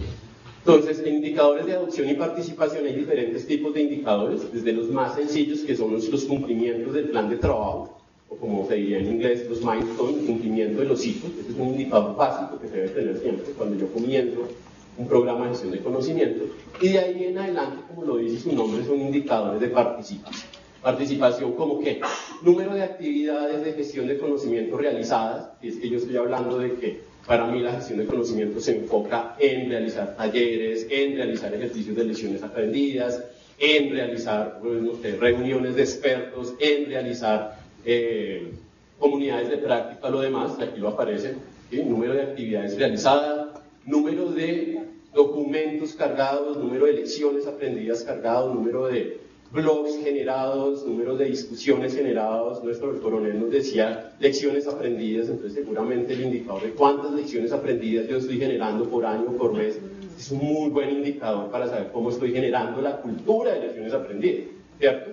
Porque si mi problema es que yo no comparto los aprendizajes que estoy, estoy teniendo, como nos lo mostraba el coronel, eh, cuando los aviones aterrizan o despegan o en las diferentes circunstancias, lo primero que necesito generar es la cultura que la gente lo haga y lo documente. Entonces lo primero que yo tengo que empezar a monitorear es eso. ¿Cuál, ¿Cuál es el número de lecciones aprendidas o de actividades que estoy generando?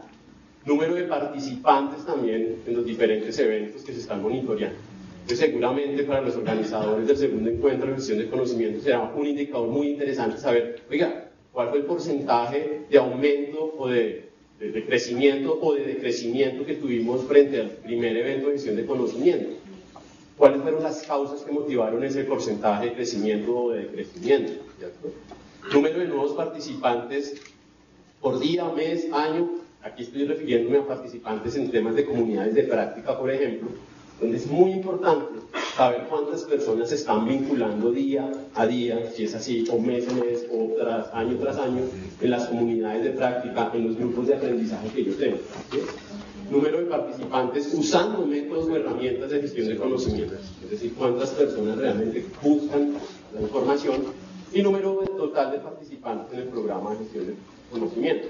Aquí ustedes pueden generar todas las variaciones que quieran, número de participantes por total de trabajadores de la organización, por grupo base que yo tenga, por público objetivo que yo estoy pensando, estoy focalizándome en pilotos, pero el mensaje es este, los primeros indicadores que yo voy a tener son indicadores de participación de adultos. ¿Por qué? Porque yo lo que tengo que empezar a monitorear es cultura, que la gente haga lo que yo quiero que sea, ¿cierto? El siguiente indicador los siguientes indicadores ya son indicadores de compromiso y satisfacción. Es decir, oiga, ¿qué tan útil está haciendo esto para la gente? Porque al final la gestión de conocimiento se hace en la gente y no se da en las bases de información, no, se hace en la gente. Entonces es importante saber, oye, cuál es la satisfacción de la gente de manera, digámoslo así, subjetiva frente al programa de gestión de conocimiento, ¿cierto? Obviamente más adelante puedo hacer evaluaciones cualitativas o más objetivas sobre si esto está realmente siendo efectivo o no, lo vamos a ver más adelante. Satisfacción con las herramientas y mecanismos de gestión de conocimiento que yo estoy utilizando, es decir, si yo estoy aplicando eh, metodologías de lecciones aprendidas, vuelvo a decir, de comunidades de práctica, de World Cafés, de Open Space Technologies y diferentes herramientas que existen, es saber, oiga, qué tan bueno ha sido la aplicación de esto para el público que yo estoy utilizando otros indicadores aquí que ya empezamos a monitorear, llamémoslo así, son eh, indicadores de usabilidad de las herramientas que yo tengo, es decir, cuáles fueron las, las, las, descargas de lecciones aprendidas que yo tuve, cuáles fueron las consultas de las lecciones aprendidas. Una cosa es que yo cargué lecciones aprendidas, pero otra cosa es si mi sistema es no es un sistema eh, pull, sino push. Oiga, ¿cuánta gente realmente está consultando las lecciones aprendidas y, y está entrando a la base de datos de lecciones aprendidas? ¿Cuánta gente está visitando los blogs o los foros de discusión que yo estoy generando en las comunidades de práctica, cuántas participaciones hay allí, ¿cierto?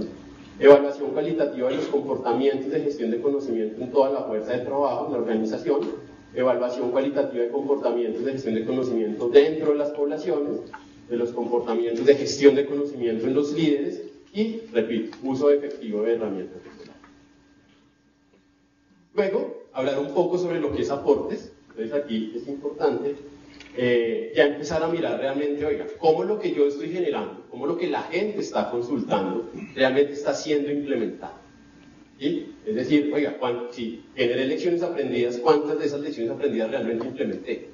Porque la lección aprendida no se hace solamente para socializar, es para que el piloto, cuando, como lo decía el coronel, se, se, enfrente a nuevamente la vaca o el felino que se le atraviese en la pista, reaccione como lo dice la lección aprendida. Porque si no lo hace, pues realmente la lección aprendida no está siendo útil. ¿sí? Que si yo generé documentos, los documentos que generé en los sistemas de gestión de conocimientos se estén utilizando. Si yo generé foros de discusión o buenas prácticas en mis comunidades de práctica, esas comunidades, esas buenas prácticas o documentos estén utilizando en mis procesos. Entonces, al final, realmente yo lo que busco aquí es, oiga, número de implementaciones de lecciones aprendidas, documentos, eh, mejores prácticas, eh, estándares que están desarrollando, se están siendo utilizados, están siendo aplicados, número de buenas prácticas que he venido, que han venido siendo replicados y porcentaje de, llámese lecciones aprendidas, documentos, mejores prácticas, lo que sea, que generan cambios en los procedimientos u operaciones de mi organización. ¿sí? Una cosa es que yo genere una lección aprendida para un momento puntual, frente a un incidente puntual, lo cual es totalmente válido, pero otra cosa es saber si eso que yo estoy generando realmente está impactando o está cambiando todos los procesos, o algunos procesos de mi operación. Y es importante monitorearlo para saber si esto realmente está generando valor en la organización. Entonces aquí ya empezamos a mirar realmente cuáles son los aportes que esas herramientas que la gente está utilizando, que, está, que se siente satisfecha o no, realmente, cuál es como, acá no estamos hablando de impacto, sino la aplicación, por así decirlo, de esas herramientas en las operaciones, y ya como aplicación, los estoy utilizando. Y finalmente, pues si yo ya sé cómo eso se está aplicando y se está utilizando, va a ser mucho más sencillo, no digo que fácil, pero sí va a ser mucho más sencillo poder monetizar, ¿cierto? Eso que estoy haciendo. Entonces aquí yo ya puedo empezar a, realmente a medir, oye, cuáles son los beneficios económicos que yo estoy generando por un programa de lecciones aprendidas en la organización, bien sea como disminución de costos o, ¿cierto?, disminución o ahorro de costos o aumentos de productividad. Eso se puede ya empezar a cuantificar, ¿cierto? Reducciones de tiempo en operaciones que redundan en costos, aumento de productividad, ¿cierto? Total de costo del programa de gestión de conocimiento o de las herramientas frente a los beneficios generados. Aquí yo ya puedo realmente empezar a calcular cuál ha sido mi, mi retorno a la inversión y obviamente también reducción de curvas de aprendizaje. ¿Cierto? Que es donde al final, como lo mostraba nuestro coronel, empieza, empieza a redundar todo ejercicio de gestión de conocimiento cómo yo empiezo a reducir las curvas de aprendizaje de las personas y lo que antes se demoraba un año y medio, dos años, hoy ya lo puedo hacer en nueve meses, ocho meses debido a las herramientas que yo estoy implementando. Entonces, al final, como les decía, tenemos una serie de indicadores, seguramente hay muchos más que ustedes los podrán encontrar en la literatura, ¿cierto? Pero el mensaje que yo les quiero dejar es eso. Los indicadores, en los indicadores en gestión de conocimiento vamos a evolucionar. No, no podemos llegar a medir de una vez valor y beneficio, ¿sí? como una meta contundente, y yo no he vivido este proceso. Eso no significa, ojo con esto, que yo no monitoree lo que nosotros llamamos las historias de éxito. Es decir, los casos donde se aplica una metodología de gestión de conocimiento y el mismo caso de negocio per se te puede evidenciar, oiga, un beneficio de tantos ahorros. Les voy a poner un caso concreto. Nosotros en Ecopetrol aplicamos, tenemos las metodologías de lecciones aprendidas y nuestro sistema de lecciones aprendidas estandarizado, inmerso en nuestros procesos, pero eh, en el 2007, apenas llevábamos tres años trabajando, en el 2007, una líder de perforación en la regional sur de, Ecopetrol utilizó las lecciones aprendidas, como lo dice el proceso, de, de los de dos pozos anteriores que se habían perforado, en la perforación de su pozo y logró ahorrar 3 millones de dólares. ¿Por qué? Porque al aplicar esas lecciones aprendidas redujo el tiempo de perforación de 28 días a 20 y 21 días. Ella documentó eso y nos llamó y nos dijo, mire, yo implementé estas lecciones aprendidas, yo obtuve este beneficio, pero no es que haya sido un beneficio planeado de la gestión de conocimiento. Es un caso de éxito, donde ella utiliza unas lecciones aprendidas y como, resultado de ese caso de, de esa implementación genera ese beneficio. Entonces el mensaje también es ese, ojo a monitorear esas historias de éxito, porque esas historias de éxito siempre están presentes, siempre, siempre se están dando. Seguramente el coronel nos puede contar historias de éxito de que, oiga, el piloto que leyó la historia, la lección aprendida y reaccionó de la misma manera como decía la lección aprendida, o no reaccionó de la misma manera como decía la lección aprendida, porque hay cosas buenas y cosas malas, ¿cierto? Y de esa manera, primero, salvó su vida, la de su equipo, y también salvó, pues, la infraestructura, en este caso el avión. Pero esas son historias de éxito. No necesariamente yo puedo decir, cuando empiezo a generar el programa de lecciones aprendidas, que voy a obtener un ahorro de 25 millones de dólares, de 25 millones de pesos, porque no es fácil. Eso lo voy a obtener después de mucho tiempo de haber levantado la información. Otro mensaje que también les quiero dar es que una cosa es que yo no pueda calcular de primerazo, perdón, por así decirlo, este beneficio, pero uno sí siempre se debe hacer una pregunta cuando trabaja cualquier iniciativa de gestión de conocimiento y es, oiga, ¿esto cómo va a impactar, ¿cierto?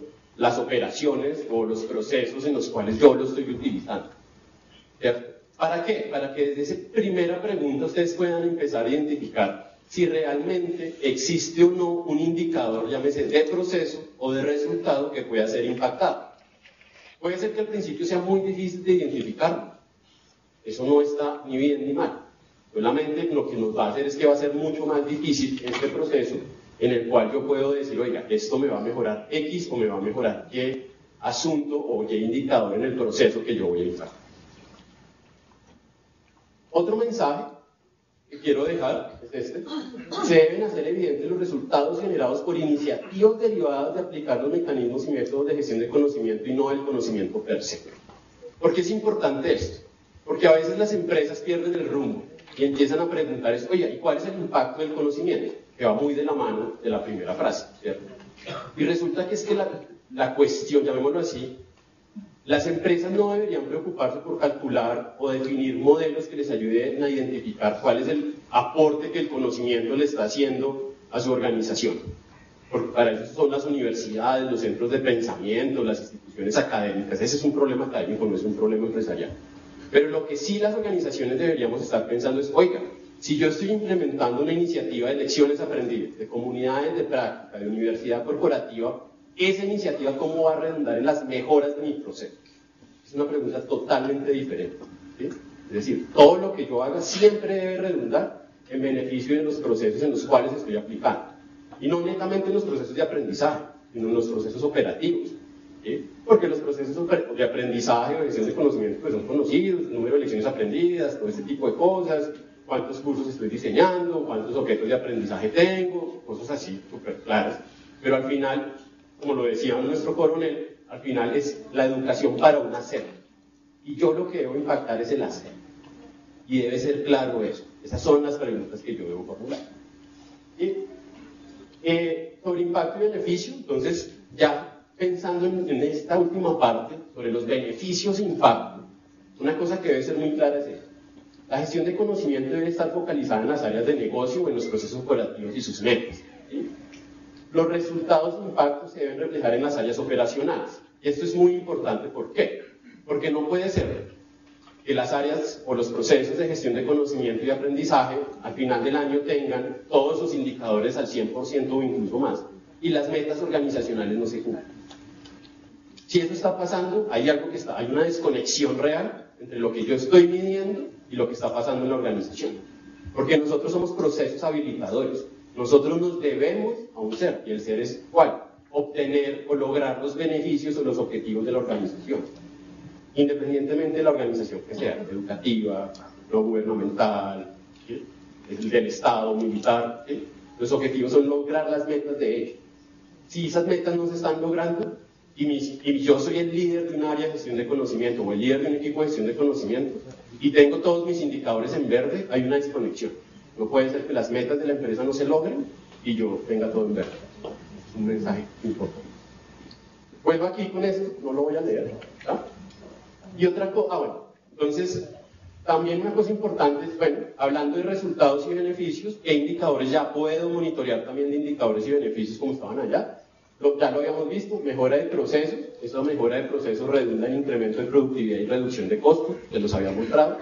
Otros indicadores, llamémoslo así que, otra forma de medir el impacto de la gestión de conocimiento, que no necesariamente es un indicador, es la reformulación de la estrategia, es decir, si yo utilizando mecanismos de gestión de conocimiento logro cambiar la estrategia de la compañía, es totalmente válido adjudicar eso a una iniciativa de gestión de conocimiento. Entonces, por ejemplo, si como resultado de este encuentro de tres días, cuatro días que estamos teniendo, se logra cambiar la estrategia de la función pública o de algunos elementos de la función pública, pues seguramente los organizadores del evento se deben sentir muy orgullosos y mostrarlo como resultado. Es decir, oiga, como parte de este evento se logró cambiar esto y hacer esto.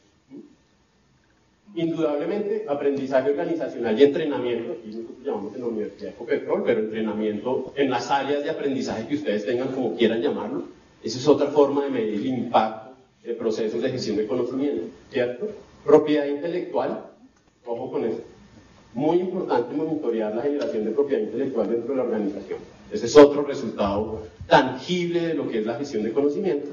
Y finalmente, cultura y reconocimiento corporativo, que son otros indicadores que normalmente las empresas monitorean, llámese a través de encuestas de Great Place to Work, de encuestas de cultura organizacional, y que ustedes de una manera muy fácil pueden realmente incluir preguntas asociadas a si nuestra empresa tiene o no una cultura que trabaja colaborativamente y transfiere conocimiento.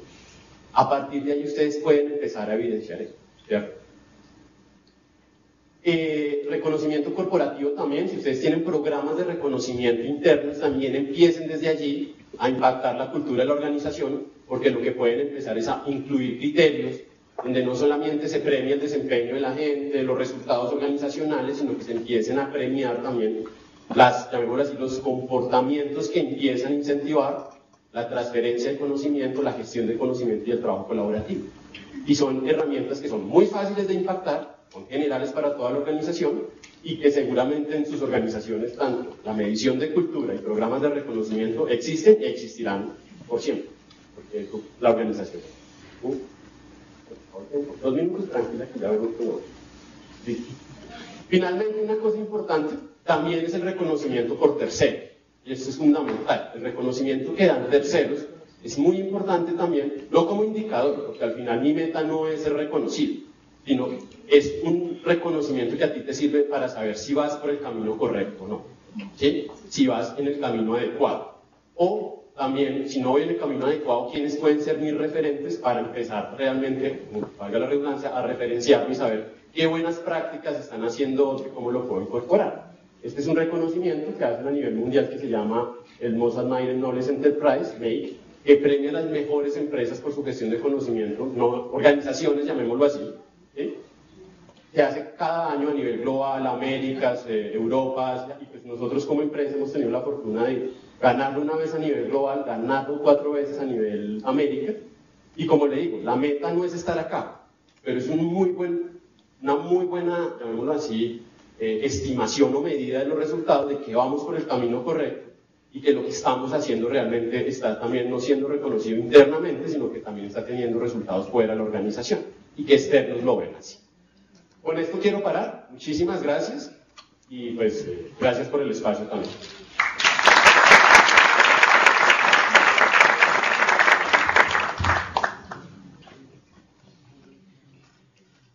Y ahora le damos la palabra a Juliet Solano y Jorge Camargo. Juliet es la líder de innovación del área de innovación y aprendizaje del DANI, es profesional en Economía y Negocios Internacionales de la Universidad ICESI y en Economía de la Universidad Nacional de Colombia. Ha tenido amplia experiencia en el proceso estadístico de producción y difusión de indicadores de impacto nacional y regional. Y Jorge es ingeniero de sistemas y cuenta con un doctorado en Ingeniería de Sistemas y Computación de la Universidad Nacional de Colombia, con una maestría en Ingeniería de Sistemas y Computación de la Universidad de los Andes. Es también decano de Facultad de Ingeniería de Sistemas de la Universidad Antonio Nariño y es cofundador de Big Data Solutions, una compañía que se dedica a las bases tecnológicas y que presta servicios de consultoría.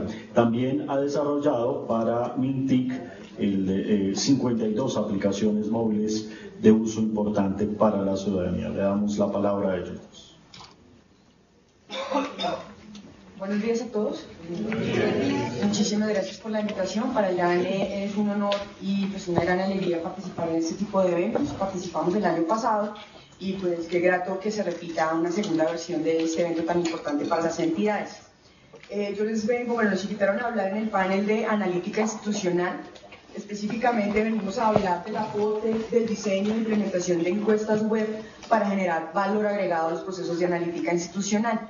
Entonces, teniendo en cuenta que la analítica es ese eje de la gestión del conocimiento que se encarga de convertir los datos en información clave para la toma de decisiones, es claro que muchas veces las entidades generamos información a través de nuestros sistemas internos o a través, digamos, de procesos de recolección de información a usuarios eh, o beneficiarios de políticas públicas o de servicios eh, que se prestan desde el sector público.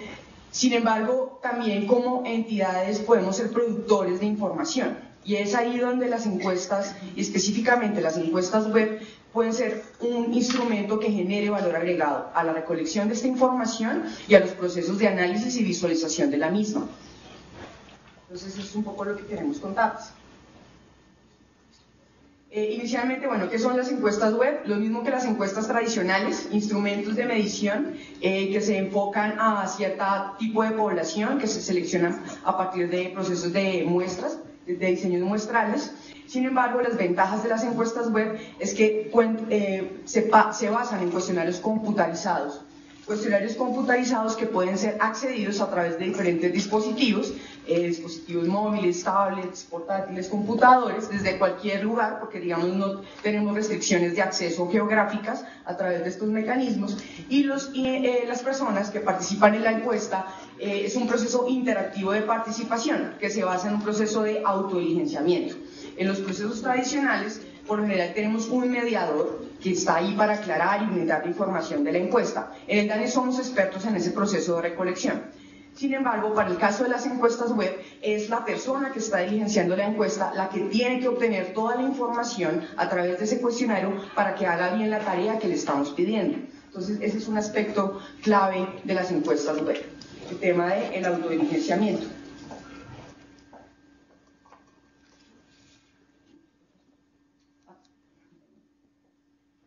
Bueno, tienen muchísimas ventajas, sobre todo, digamos, eh, el surgimiento de la web hace muchísimos años, la evolución, por ende, de dispositivos, eh, digamos, que convergen en las encuestas web y ah, han permitido que estos instrumentos se dinamicen en los últimos años y, ganen una gran popularidad. Son menos costosos que los operativos tradicionales. Ustedes no se imaginan lo que implica para el NAE tener una persona en campo recolectando datos. Es de lo más costoso que hay son rápidas porque yo accedo, digamos, a mi población objetivo, dispongo los, los, mecanismos, ellos llenan la información y yo puedo consolidar la información que ellos reportan de una manera mucho más rápida y eficiente. Adicionalmente, eh, son fáciles de implementar. Eh, digamos que los procesos de eh, encuestas tradicionales, los procesos de diseño de los operativos es bastante demandante y bastante costoso en términos de tiempos y recursos. Eh, las encuestas web, por el contrario, son muy rápidas de diseñar, siempre y cuando se cuente con la experticia y el conocimiento del fenómeno. Eh, adicionalmente, los cuestionarios digitalizados facilitan muchísimo el proceso de validación de calidad. Una de las razones por las cuales el DAN está incursionando en este tipo de instrumentos de medición es porque ya se ha probado en el mundo, y ahora lo vamos a ver más adelante, que estos, este tipo de mecanismos de recolección mejoran las tasas de respuesta por pregunta y facilitan, digamos, el proceso de interacción con los ciudadanos objeto de las encuestas. Adicionalmente, me permiten que yo me enfoque en preguntar lo que tengo que preguntar y no, eh, digamos, sobrecargue a mi audiencia o a, la persona que me está contestando con preguntas que yo puedo obtener por otros mecanismos. Y acá va un primer ejemplo de la experiencia de Dan en el uso de estos instrumentos para recolectar información interna.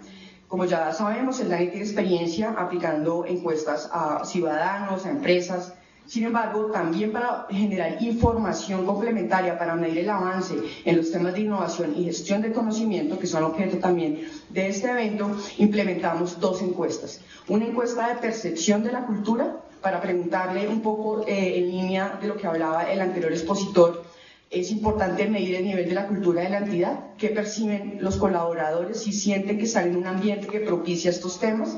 También es importante medir información objetiva, como el número de innovaciones que se están produciendo y caracterizarlas. Entonces nosotros resolvimos esto con dos encuestas web que aplicamos este año internamente. La primera encuesta, la de percepción, estaba dirigida a los colaboradores de la entidad. Entonces, mi punto de no preguntarle lo que yo ya sé es que si yo tengo un sistema de información, eh, sistemas de información armonizados y que se articulan en mi entidad, yo no le tengo por qué preguntar a los funcionarios su sexo, su edad, incluso su formación profesional. Hay otros sistemas de información de la entidad que me, que me proveen esa, esa información. Y de forma tal que yo solo me concentro en preguntar lo que necesito, la percepción o la, la idea o la opinión que tienen los colaboradores sobre ciertas dimensiones. Entonces, es aquí donde estos instrumentos armonizados y articulados con los sistemas de información institucional pueden eh, facilitar y contribuir mucho a optimizar los procesos de recolección de información.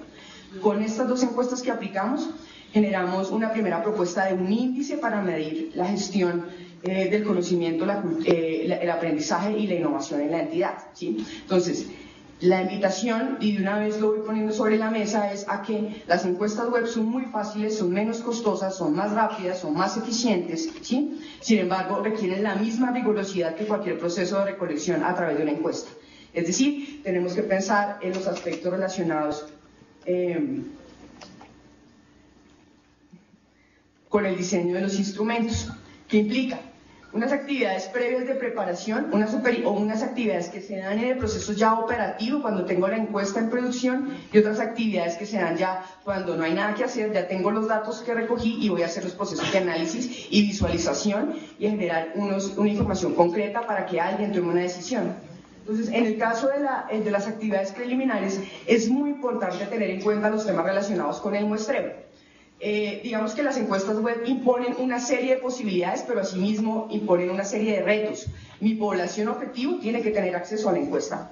Entonces yo puedo, necesito eh, verificar si la, la, población efectivamente lo tiene o si debo ser yo el que provea este acceso a partir de suministrar los computadores, las tablets, los celulares para que ellos realicen el proceso. Entonces, estos aspectos son muy importantes en los procesos de los diseños muestrales.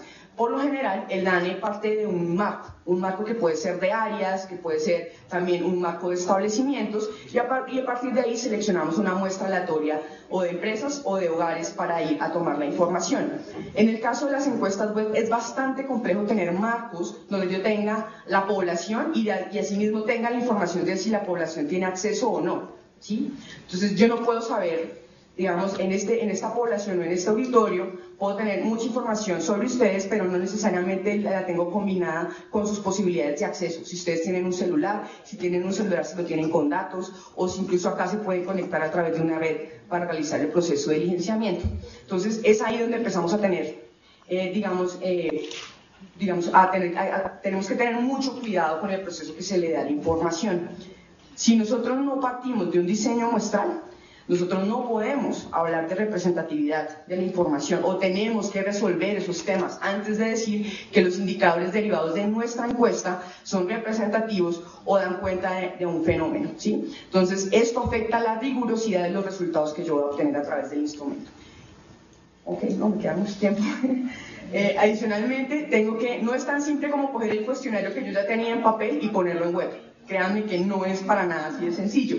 Implica pensar que yo a la persona le tengo que dar todos los elementos, las ayudas, cómo facilito ese proceso de diligenciamiento, cómo lo hago más amigable, más comprensible, más rápido. Entonces tengo que garantizar que el diseño del cuestionario incorpore no solo los elementos temáticos que quiero medir, sino también los aspectos de usabilidad y accesibilidad que van a garantizar que la población objetivo pueda hacer la tarea. Adicionalmente tengo que tener un plan B. ¿Qué pasa con mi estrategia si no logro las tasas de respuesta esperada? En el caso de la encuesta de percepción del DANE, eh, tuvimos un porcentaje de respuesta del 86%, 84% de la población objetivo. Eso me permite a mí entonces, ahora sí yo puedo hablar de cultura y de la percepción de cultura de mis funcionarios porque tengo unos niveles de participación lo suficientemente altos que respaldan los resultados que yo obtuve de esa encuesta. ¿Qué pasa si no obtengo la respuesta o la participación deseada de la población. Tengo que tener plan A, plan B y plan C, porque en el operativo es donde menos tiempo y menos espacio tengo para tomar esas decisiones. En el operativo ya las personas están accediendo a la encuesta y cualquier problema que tengan debe ser rápidamente resuelto. Entonces, eh, todo esto se vislumbra y se plantea en la parte del diseño del instrumento. Adicionalmente, y la sugerencia es, eh, cuando se lanzan y se ponen en producción este tipo de instrumentos, es muy importante el monitoreo de la información. No solo es el diseño de la encuesta, es el diseño de unos módulos de administrador que me permitan a mí ingresar a un sistema y verificar el estado del diligenciamiento. Cuántas personas de la población objetivo lo han hecho, cuántas lo terminaron, cuántas lo, iniciaron, para que sí mismo yo pueda pensar en estrategias de intervención específicas de acuerdo al estado de la población en el avance del, del instrumento. Entonces es importante tener un sistema de administración que me provea esa información. Yo no puedo tener una encuesta web con un sistema de monitoreo en Excel o a pedazos. ¿Sí? Eso es una, una contradicción. Los sistemas de monitoreo deben estar también funcionando en línea, en tiempo real, de ser posible. Y luego ya viene la parte del operativo donde se dispone la encuesta, se realiza el proceso de recolección de información. En estos casos es muy importante tener un servicio de soporte, de atención o de compañía, digamos, al ciudadano si yo tengo algún problema en el diligenciamiento, a quién acudo, a quién llamo, a quién consulto. Es muy importante ser claro desde el principio si voy a contar con esos mecanismos y comunicarlos efectivamente a la población. Y la parte posterior no es para nada diferente de lo que ya todos estamos acostumbrados a hacer eh, cuando tenemos información de, encuestas. Análisis descriptivo, nosotros eh, proponemos siempre avanzar un poco más y proveer indicadores sintéticos que le permitan a uno, si un cuestionario tiene eh, alrededor de 60 preguntas, no puedo tener yo 60 indicadores para el análisis. Digamos, debería yo tener una medida sintética que me diga cómo estamos en la dimensión eh, que yo pretendía medir con la encuesta. Entonces, siempre generar valor agregado al análisis a través de la visualización y la facilidad de, de interpretación de los resultados de la encuesta. Ahora sí, un poco la experiencia del DANE. El DANE arrancó con estos temas de cuestionarios electrónicos desde hace mucho rato, en el 2005, con la implementación de la encuesta de innovación. No podíamos hacer una encuesta de innovación eh, de una manera tradicional. Esa fue la, primera vez que el DANE, digamos, introdujo la primera innovación en los procesos de recolección con la encuesta de innovación tecnológica. Desde ahí, 26 operaciones estadísticas enfocadas a establecimientos eh, han adoptado cuestionarios web. Entonces nosotros ya teníamos una experiencia. Sin embargo, enfrentamos ahorita el gran reto, digamos, que tenemos como, que tiene cualquier oficina de estadística en un país, es eh, realizar el censo de población y vivienda. Realizar el censo de población y vivienda es la operación más costosa eh, de recolección. O sea, no se imagina la cantidad de personas que tienen que estar en campo recorriendo todo el país, recabando información estructural que es fundamental para el diseño de política pública. Entonces, ¿cómo, podíamos, ¿cómo podemos optimizar ese proceso de recolección con el censo? Esto implicó que nos moviéramos de la dimensión empresas, donde yo tengo una persona que seguramente es especializada en la temática y no necesita mayor orientación para decirme el número de personal ocupados, las ventas totales, ¿sí? A, otro universo, a otra población objetivo que son los ciudadanos en general, los hogares.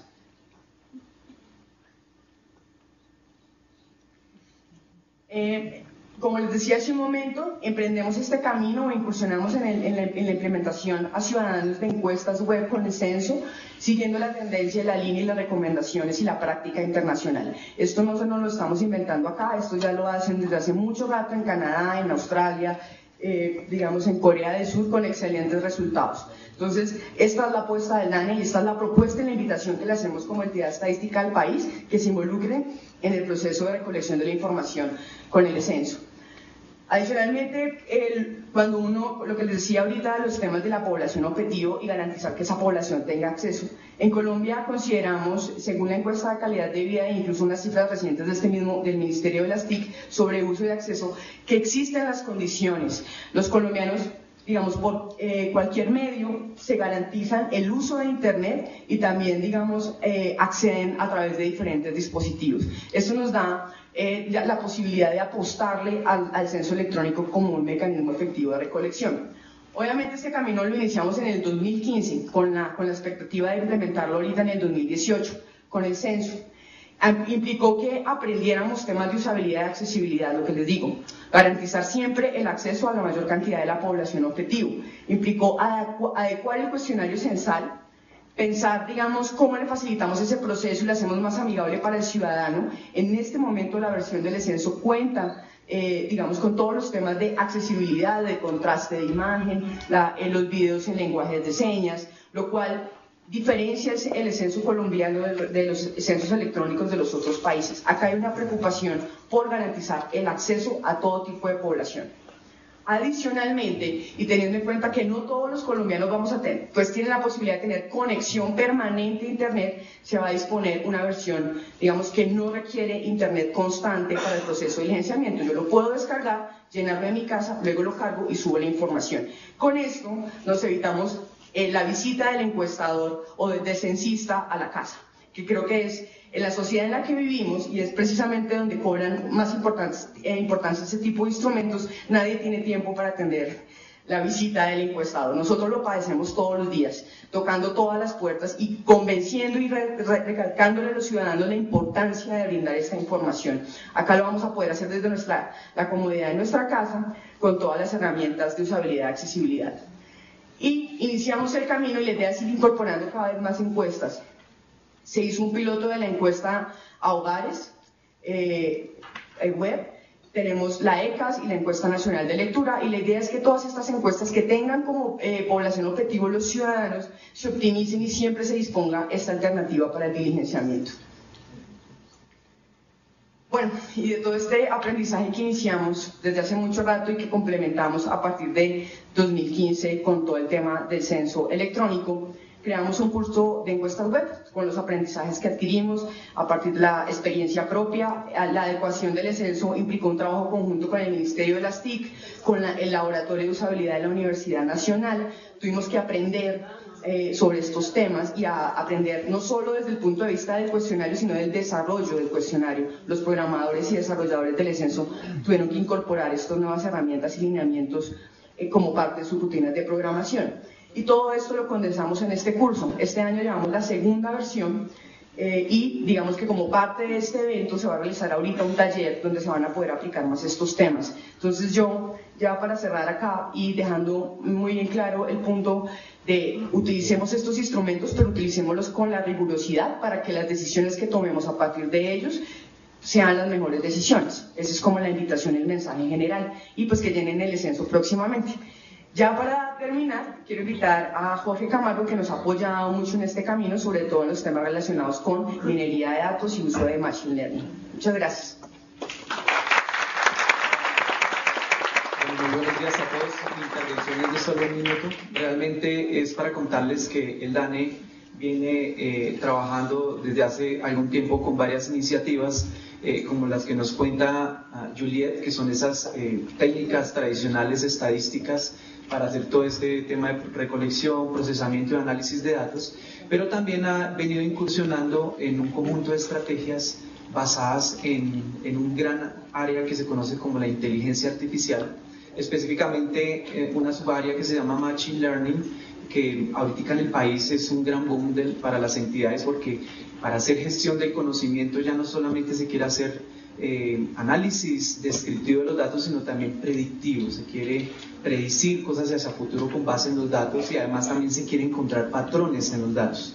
Bien, entonces eh, se viene utilizando Machine Learning eh, para una serie de proyectos internos y yo quiero invitarlos para el taller que voy a desarrollar después de esta sesión, en el cual les voy a mostrar cómo se puede utilizar Machine Learning, cómo se está utilizando en el DANE para hacer explotación de los datos para aplicar inteligencia artificial y encontrar conocimiento, descubrir conocimiento a partir de los datos. Entonces están cordialmente invitados. Va a ser una sesión netamente práctica en la cual yo les voy a mostrar cómo recolectar información de una red social como lo es Twitter, cómo recolectarla, cómo procesarla eh, y cómo aplicar estos algoritmos. Bien, el reto de hacer esto en, una hora y está preparado para que eh, lo hagamos. Eh, no se necesita ningún conocimiento previo, únicamente estar muy dispuesto a aprender. Muchas gracias.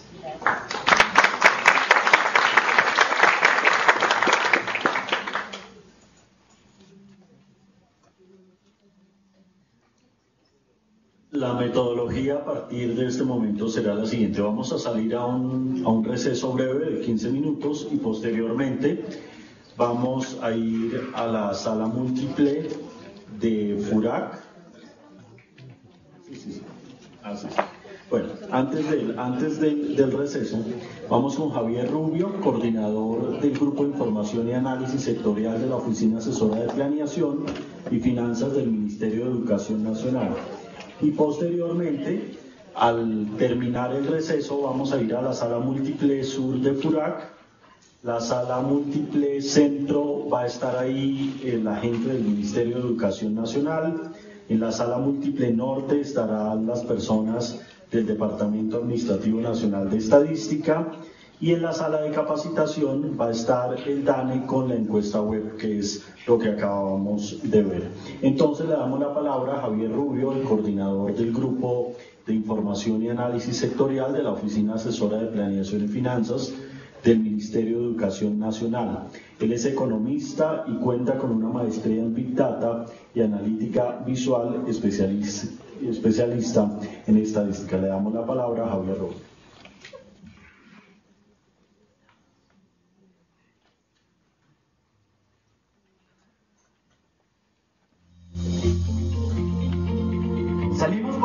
A preguntar algunos datos de educación para ver qué tanto sabemos de nuestro sector. Después de preguntar y preguntar nos llevamos una sorpresa. No tengo conocimiento exacto del tema. No, mentira, no sé. La verdad no sé. Vimos que a pesar de conocer algunos datos, muchos desconocemos varias cifras estratégicas de nuestra gestión. Pero, ¿cómo podemos tener siempre a la mano información confiable, transparente y oportuna? En el Ministerio de Educación Nacional hemos contado con diferentes plataformas que permiten registrar avances en materia educativa en cada uno de sus niveles, básica, media y superior. Ahora desarrollamos una estrategia para manejar eficientemente la información, regular los datos para la toma de decisiones, rendir cuentas a la sociedad, hacer seguimiento a la ejecución de recursos financieros, unificar los datos de los sistemas de información, Así nace Repórtate, datos de educación confiables y transparentes. Una plataforma donde podremos registrar, validar y consultar información estadística del sector educativo. Esta estrategia se implementará a partir de tres ejes. Lineamientos, es decir, las reglas de juego que nos ayudarán a gestionar la información de manera más eficiente. Análisis cualitativo, para ir más allá de las cifras transformando los datos en conocimiento. Plataforma, a mediano plazo se conectará con los sistemas de información ya existentes para convertirse en la única fuente de información oficial. Nosotros hacemos parte del cambio y para lograrlo es necesario que todos asumamos un rol activo en esta iniciativa para potenciar el alcance y pertinencia de todas las cifras del sector educativo. En tus manos, en nuestras manos está la educación del país. Déjate tocar por los datos y recuerda que detrás de estas cifras hay personas, niños, jóvenes, docentes. Sé parte del cambio para una Colombia mejor educada.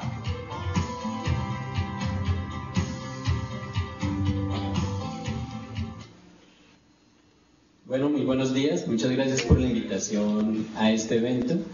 Y pues básicamente en este eje de analítica institucional fuimos invitados para eh, plantear pues como todos estos temas que surgen en las entidades de cómo poder transformar datos en conocimiento para la toma de decisiones.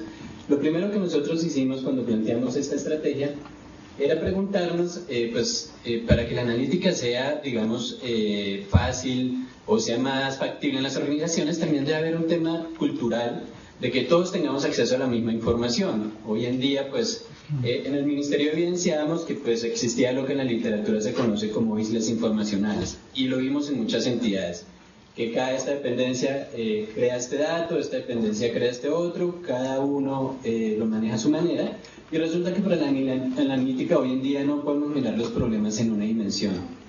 Hoy en día los problemas son multidimensionales, debemos compartir toda esta información para poder comprender mejor ciertos fenómenos. En ese sentido, pues planteamos y veíamos que no todos tenían acceso a la misma información, empezamos a plantear eh, como primera parte en la analítica, digamos, la analítica, digamos, si bien es un resultado, surge de todo un proceso que va desde la recolección, la transformación de datos, hasta ya el tema de hacer análisis.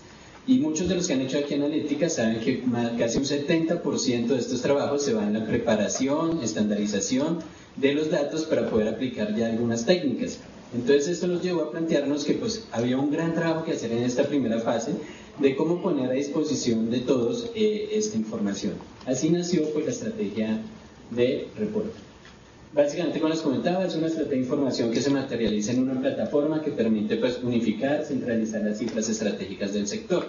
Esto también sirvió como para unificar la información a nivel del ministerio porque pues manejamos y hoy en día vemos muchas entidades que los sistemas son transaccionales Y eso nos lleva a muchas diferencias, a que al no tener un dato, cualquier persona genera un dato hoy y el otro mañana, y ya empezamos a tener diferencias de información que afectan nuestros resultados, y por eso planteamos un tema de unificar. Y eh, bueno, aquí como todo el tipo de información que hemos logrado ir concentrando sobre pues, eh, acceso, permanencia, calidad, pertinencia en el sector educativo. Eh, y pues, ¿para qué creamos esto y por qué empezamos? Pues básicamente porque necesitamos datos para la toma de decisiones informadas y estratégicas, para rendir cuentas de nuestra gestión misional y la ejecución de nuestros recursos, y para que todos tengamos acceso a esta información válida y transparente. Y eh, se articuló bajo dos ejes principales. Una integración vertical al interior del ministerio y una integración horizontal con las fuentes externas. Y en la integración vertical teníamos también una discusión importante, si el dato debía concentrarse en un área o el dato debía ser orientado por el proceso. Y, coincidimos en que pues muchas veces concentrar la información en un solo sitio pues lleva algunas dificultades y nos orientamos por el gobierno de la información. El gobierno de la información me determinó entonces dentro del ministerio como todos estos pasos necesarios para que los datos sean producidos a partir de procesos y no concentrados, como pues ocurre en algunas prácticas. Por eso decía al principio, me parece importante pues, plantear que el tema cultural incide de manera importante en la toma de decisiones. Y también planteamos esa integración vertical para que cada área que tenía como una especialidad en hacer algo lo hiciera bien y lo pudiera compartir a, sus, a su, digamos, al resto del ministerio. ¿Por qué? Porque, digamos, eh, la toma de decisiones no solo se basa, digamos, a veces en los niveles directivos. Tenemos gestores territoriales, que van a las escuelas y necesitan muchas veces como esa primera analítica que no podría ser descriptiva, que digamos puede ser la más sencilla, pero que sirve para muchos para tomar decisiones si invierten allí, si plantean otras estrategias a ese colegio o a esa Secretaría de Educación.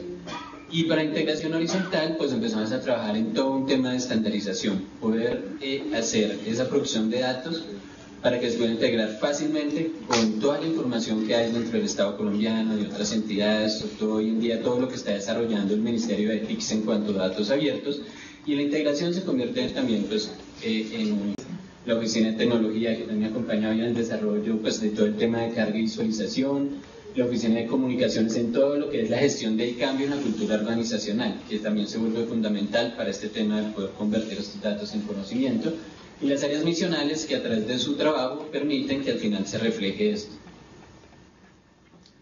¿Qué buscamos? Pues, eh, ¿cuáles son los cambios? Pues, eh, digamos, eh, cuando no teníamos, digamos, esta estrategia de información, trabajamos sobre reportes estáticos, archivos de Excel individualizados en los equipos, procesamiento de datos manual y sistemas, pues, en algunos casos no integrados. Después, la estrategia que ya reportes dinámicos en tiempo real, infraestructura tecnológica con sistemas integrados y sistemas dinámicos. Y pues les comentaba, pues un eje principal de esto fue la gobernabilidad y gestión eficiente de la información. Fortalecer pues esa gestión de la información a través de planes, políticas, programas y buenas prácticas para hacer más eficiente la recolección, el procesamiento, la calidad y liberación de la información. También con sistemas de información integrados para planear, monitorear el sistema educativo y como producto final fortalecer las capacidades de análisis descriptivo, predictivo y prescriptivo junto a las investigaciones internas que están apoyando esta, esta, acceso a los datos para poder generar eh, decisiones. La plataforma Repártete, pues eh, como les comentaba, tiene oportunidad, eh, pues porque se alimenta en tiempo real.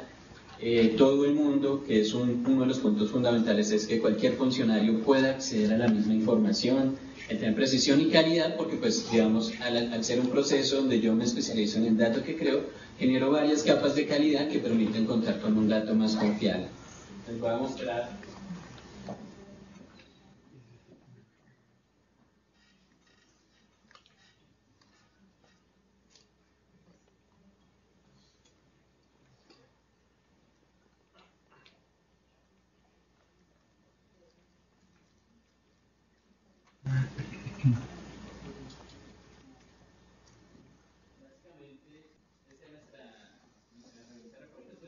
mostrarles la herramienta, quería mostrarles es eh, este tipo de información donde se refleja todo el ministerio, donde todos tenemos acceso para la toma de decisiones, cualquier funcionario, y más que la plataforma, pues ver que aquí se involucran muchas áreas que están poniendo su grano de arena en estos temas para que todos podamos tomar decisiones. De aquí que eh, pues quería más que todo plantearles cómo se visualiza eh, o cómo pueden acceder las personas a la información que producimos todos en el Ministerio.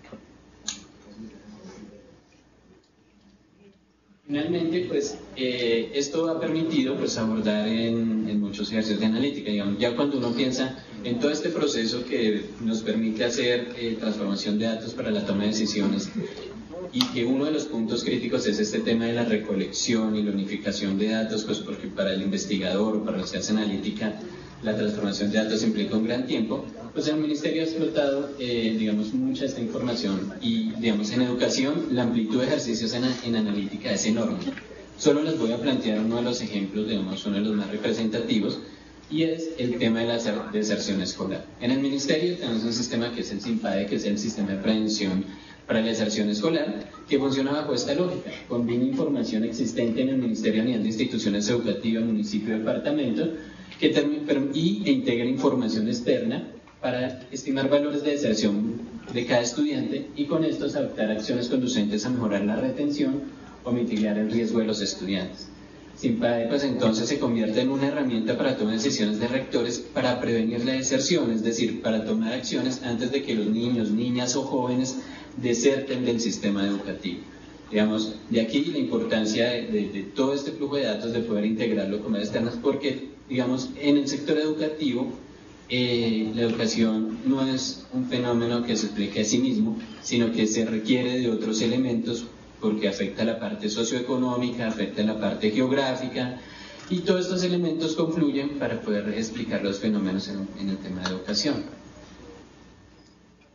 Aquí, eh, básicamente, es el resultado eh, de este modelo, digamos, eh, simplemente es como para ilustrarles de los múltiples ejercicios en SIMPADE, funcionan bajo un modelo Logic multinivel, eh, que eh, permite coger los sistemas de información nuestros con información eh, externa para realizar deserción escolar. Se calcula para los diferentes niveles educativos porque en cada nivel las causas de la deserción pueden ser diferentes.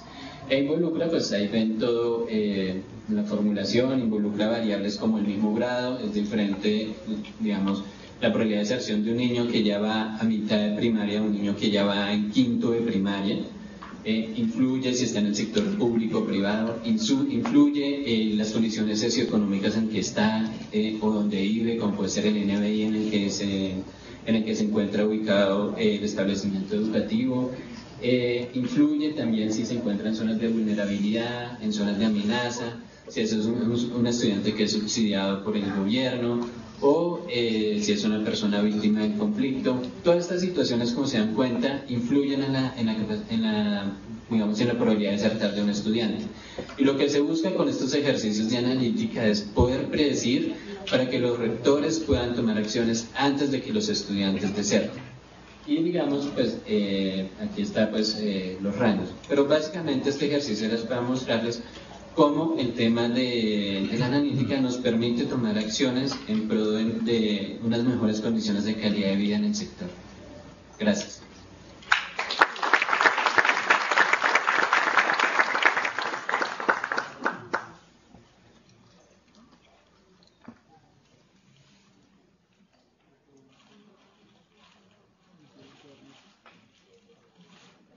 Entonces, a continuación, los vamos a invitar a, nuestro, a nuestros talleres, a cada uno de los asistentes, luego del, luego del refrigerio. La distribución es la siguiente, les recuerdo, la sala múltiple para el tema de FURAC, la sala múltiple ubicada en el costado sur, la sala múltiple ubicada en el centro, para las personas interesadas en información del Ministerio de Educación Nacional, en la sala múltiple norte, el DANE, y en la sala de capacitación, el DANE con el tema de encuestas web. Quiero recordarles también para mañana cómo va a ser la dinámica de lo que está establecido. El eje mm, que se va a abordar mañana será el de la cultura de compartir y difundir se hará, como les digo, mañana en la mañana y en la tarde también se tendrá un taller de visualización análoga de datos a cargo de José Duarte, quien es una de las personas cofundadoras de la empresa TEN. Eso será en la jornada de mañana miércoles. Hoy no habrá jornada de nuestro, de nuestro evento de gestión del conocimiento debido a la celebración del Día de los Niños. Los invitamos entonces a un receso y posteriormente a cada uno de los talleres aquí en el Ministerio de las TEC.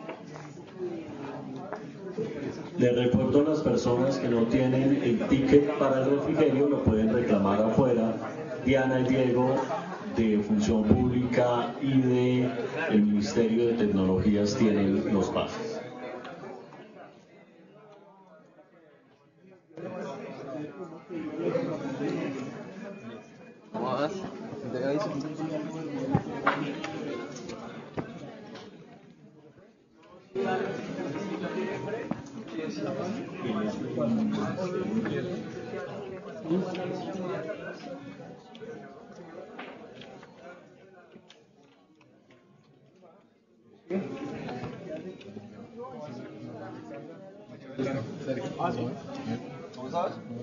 Bien, bien, ¿vas a dar taller?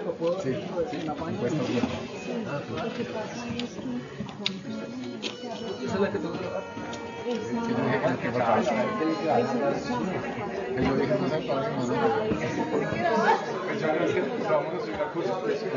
y aparece todo así solamente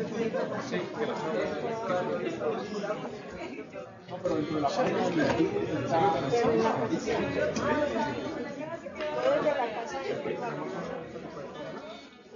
dentro de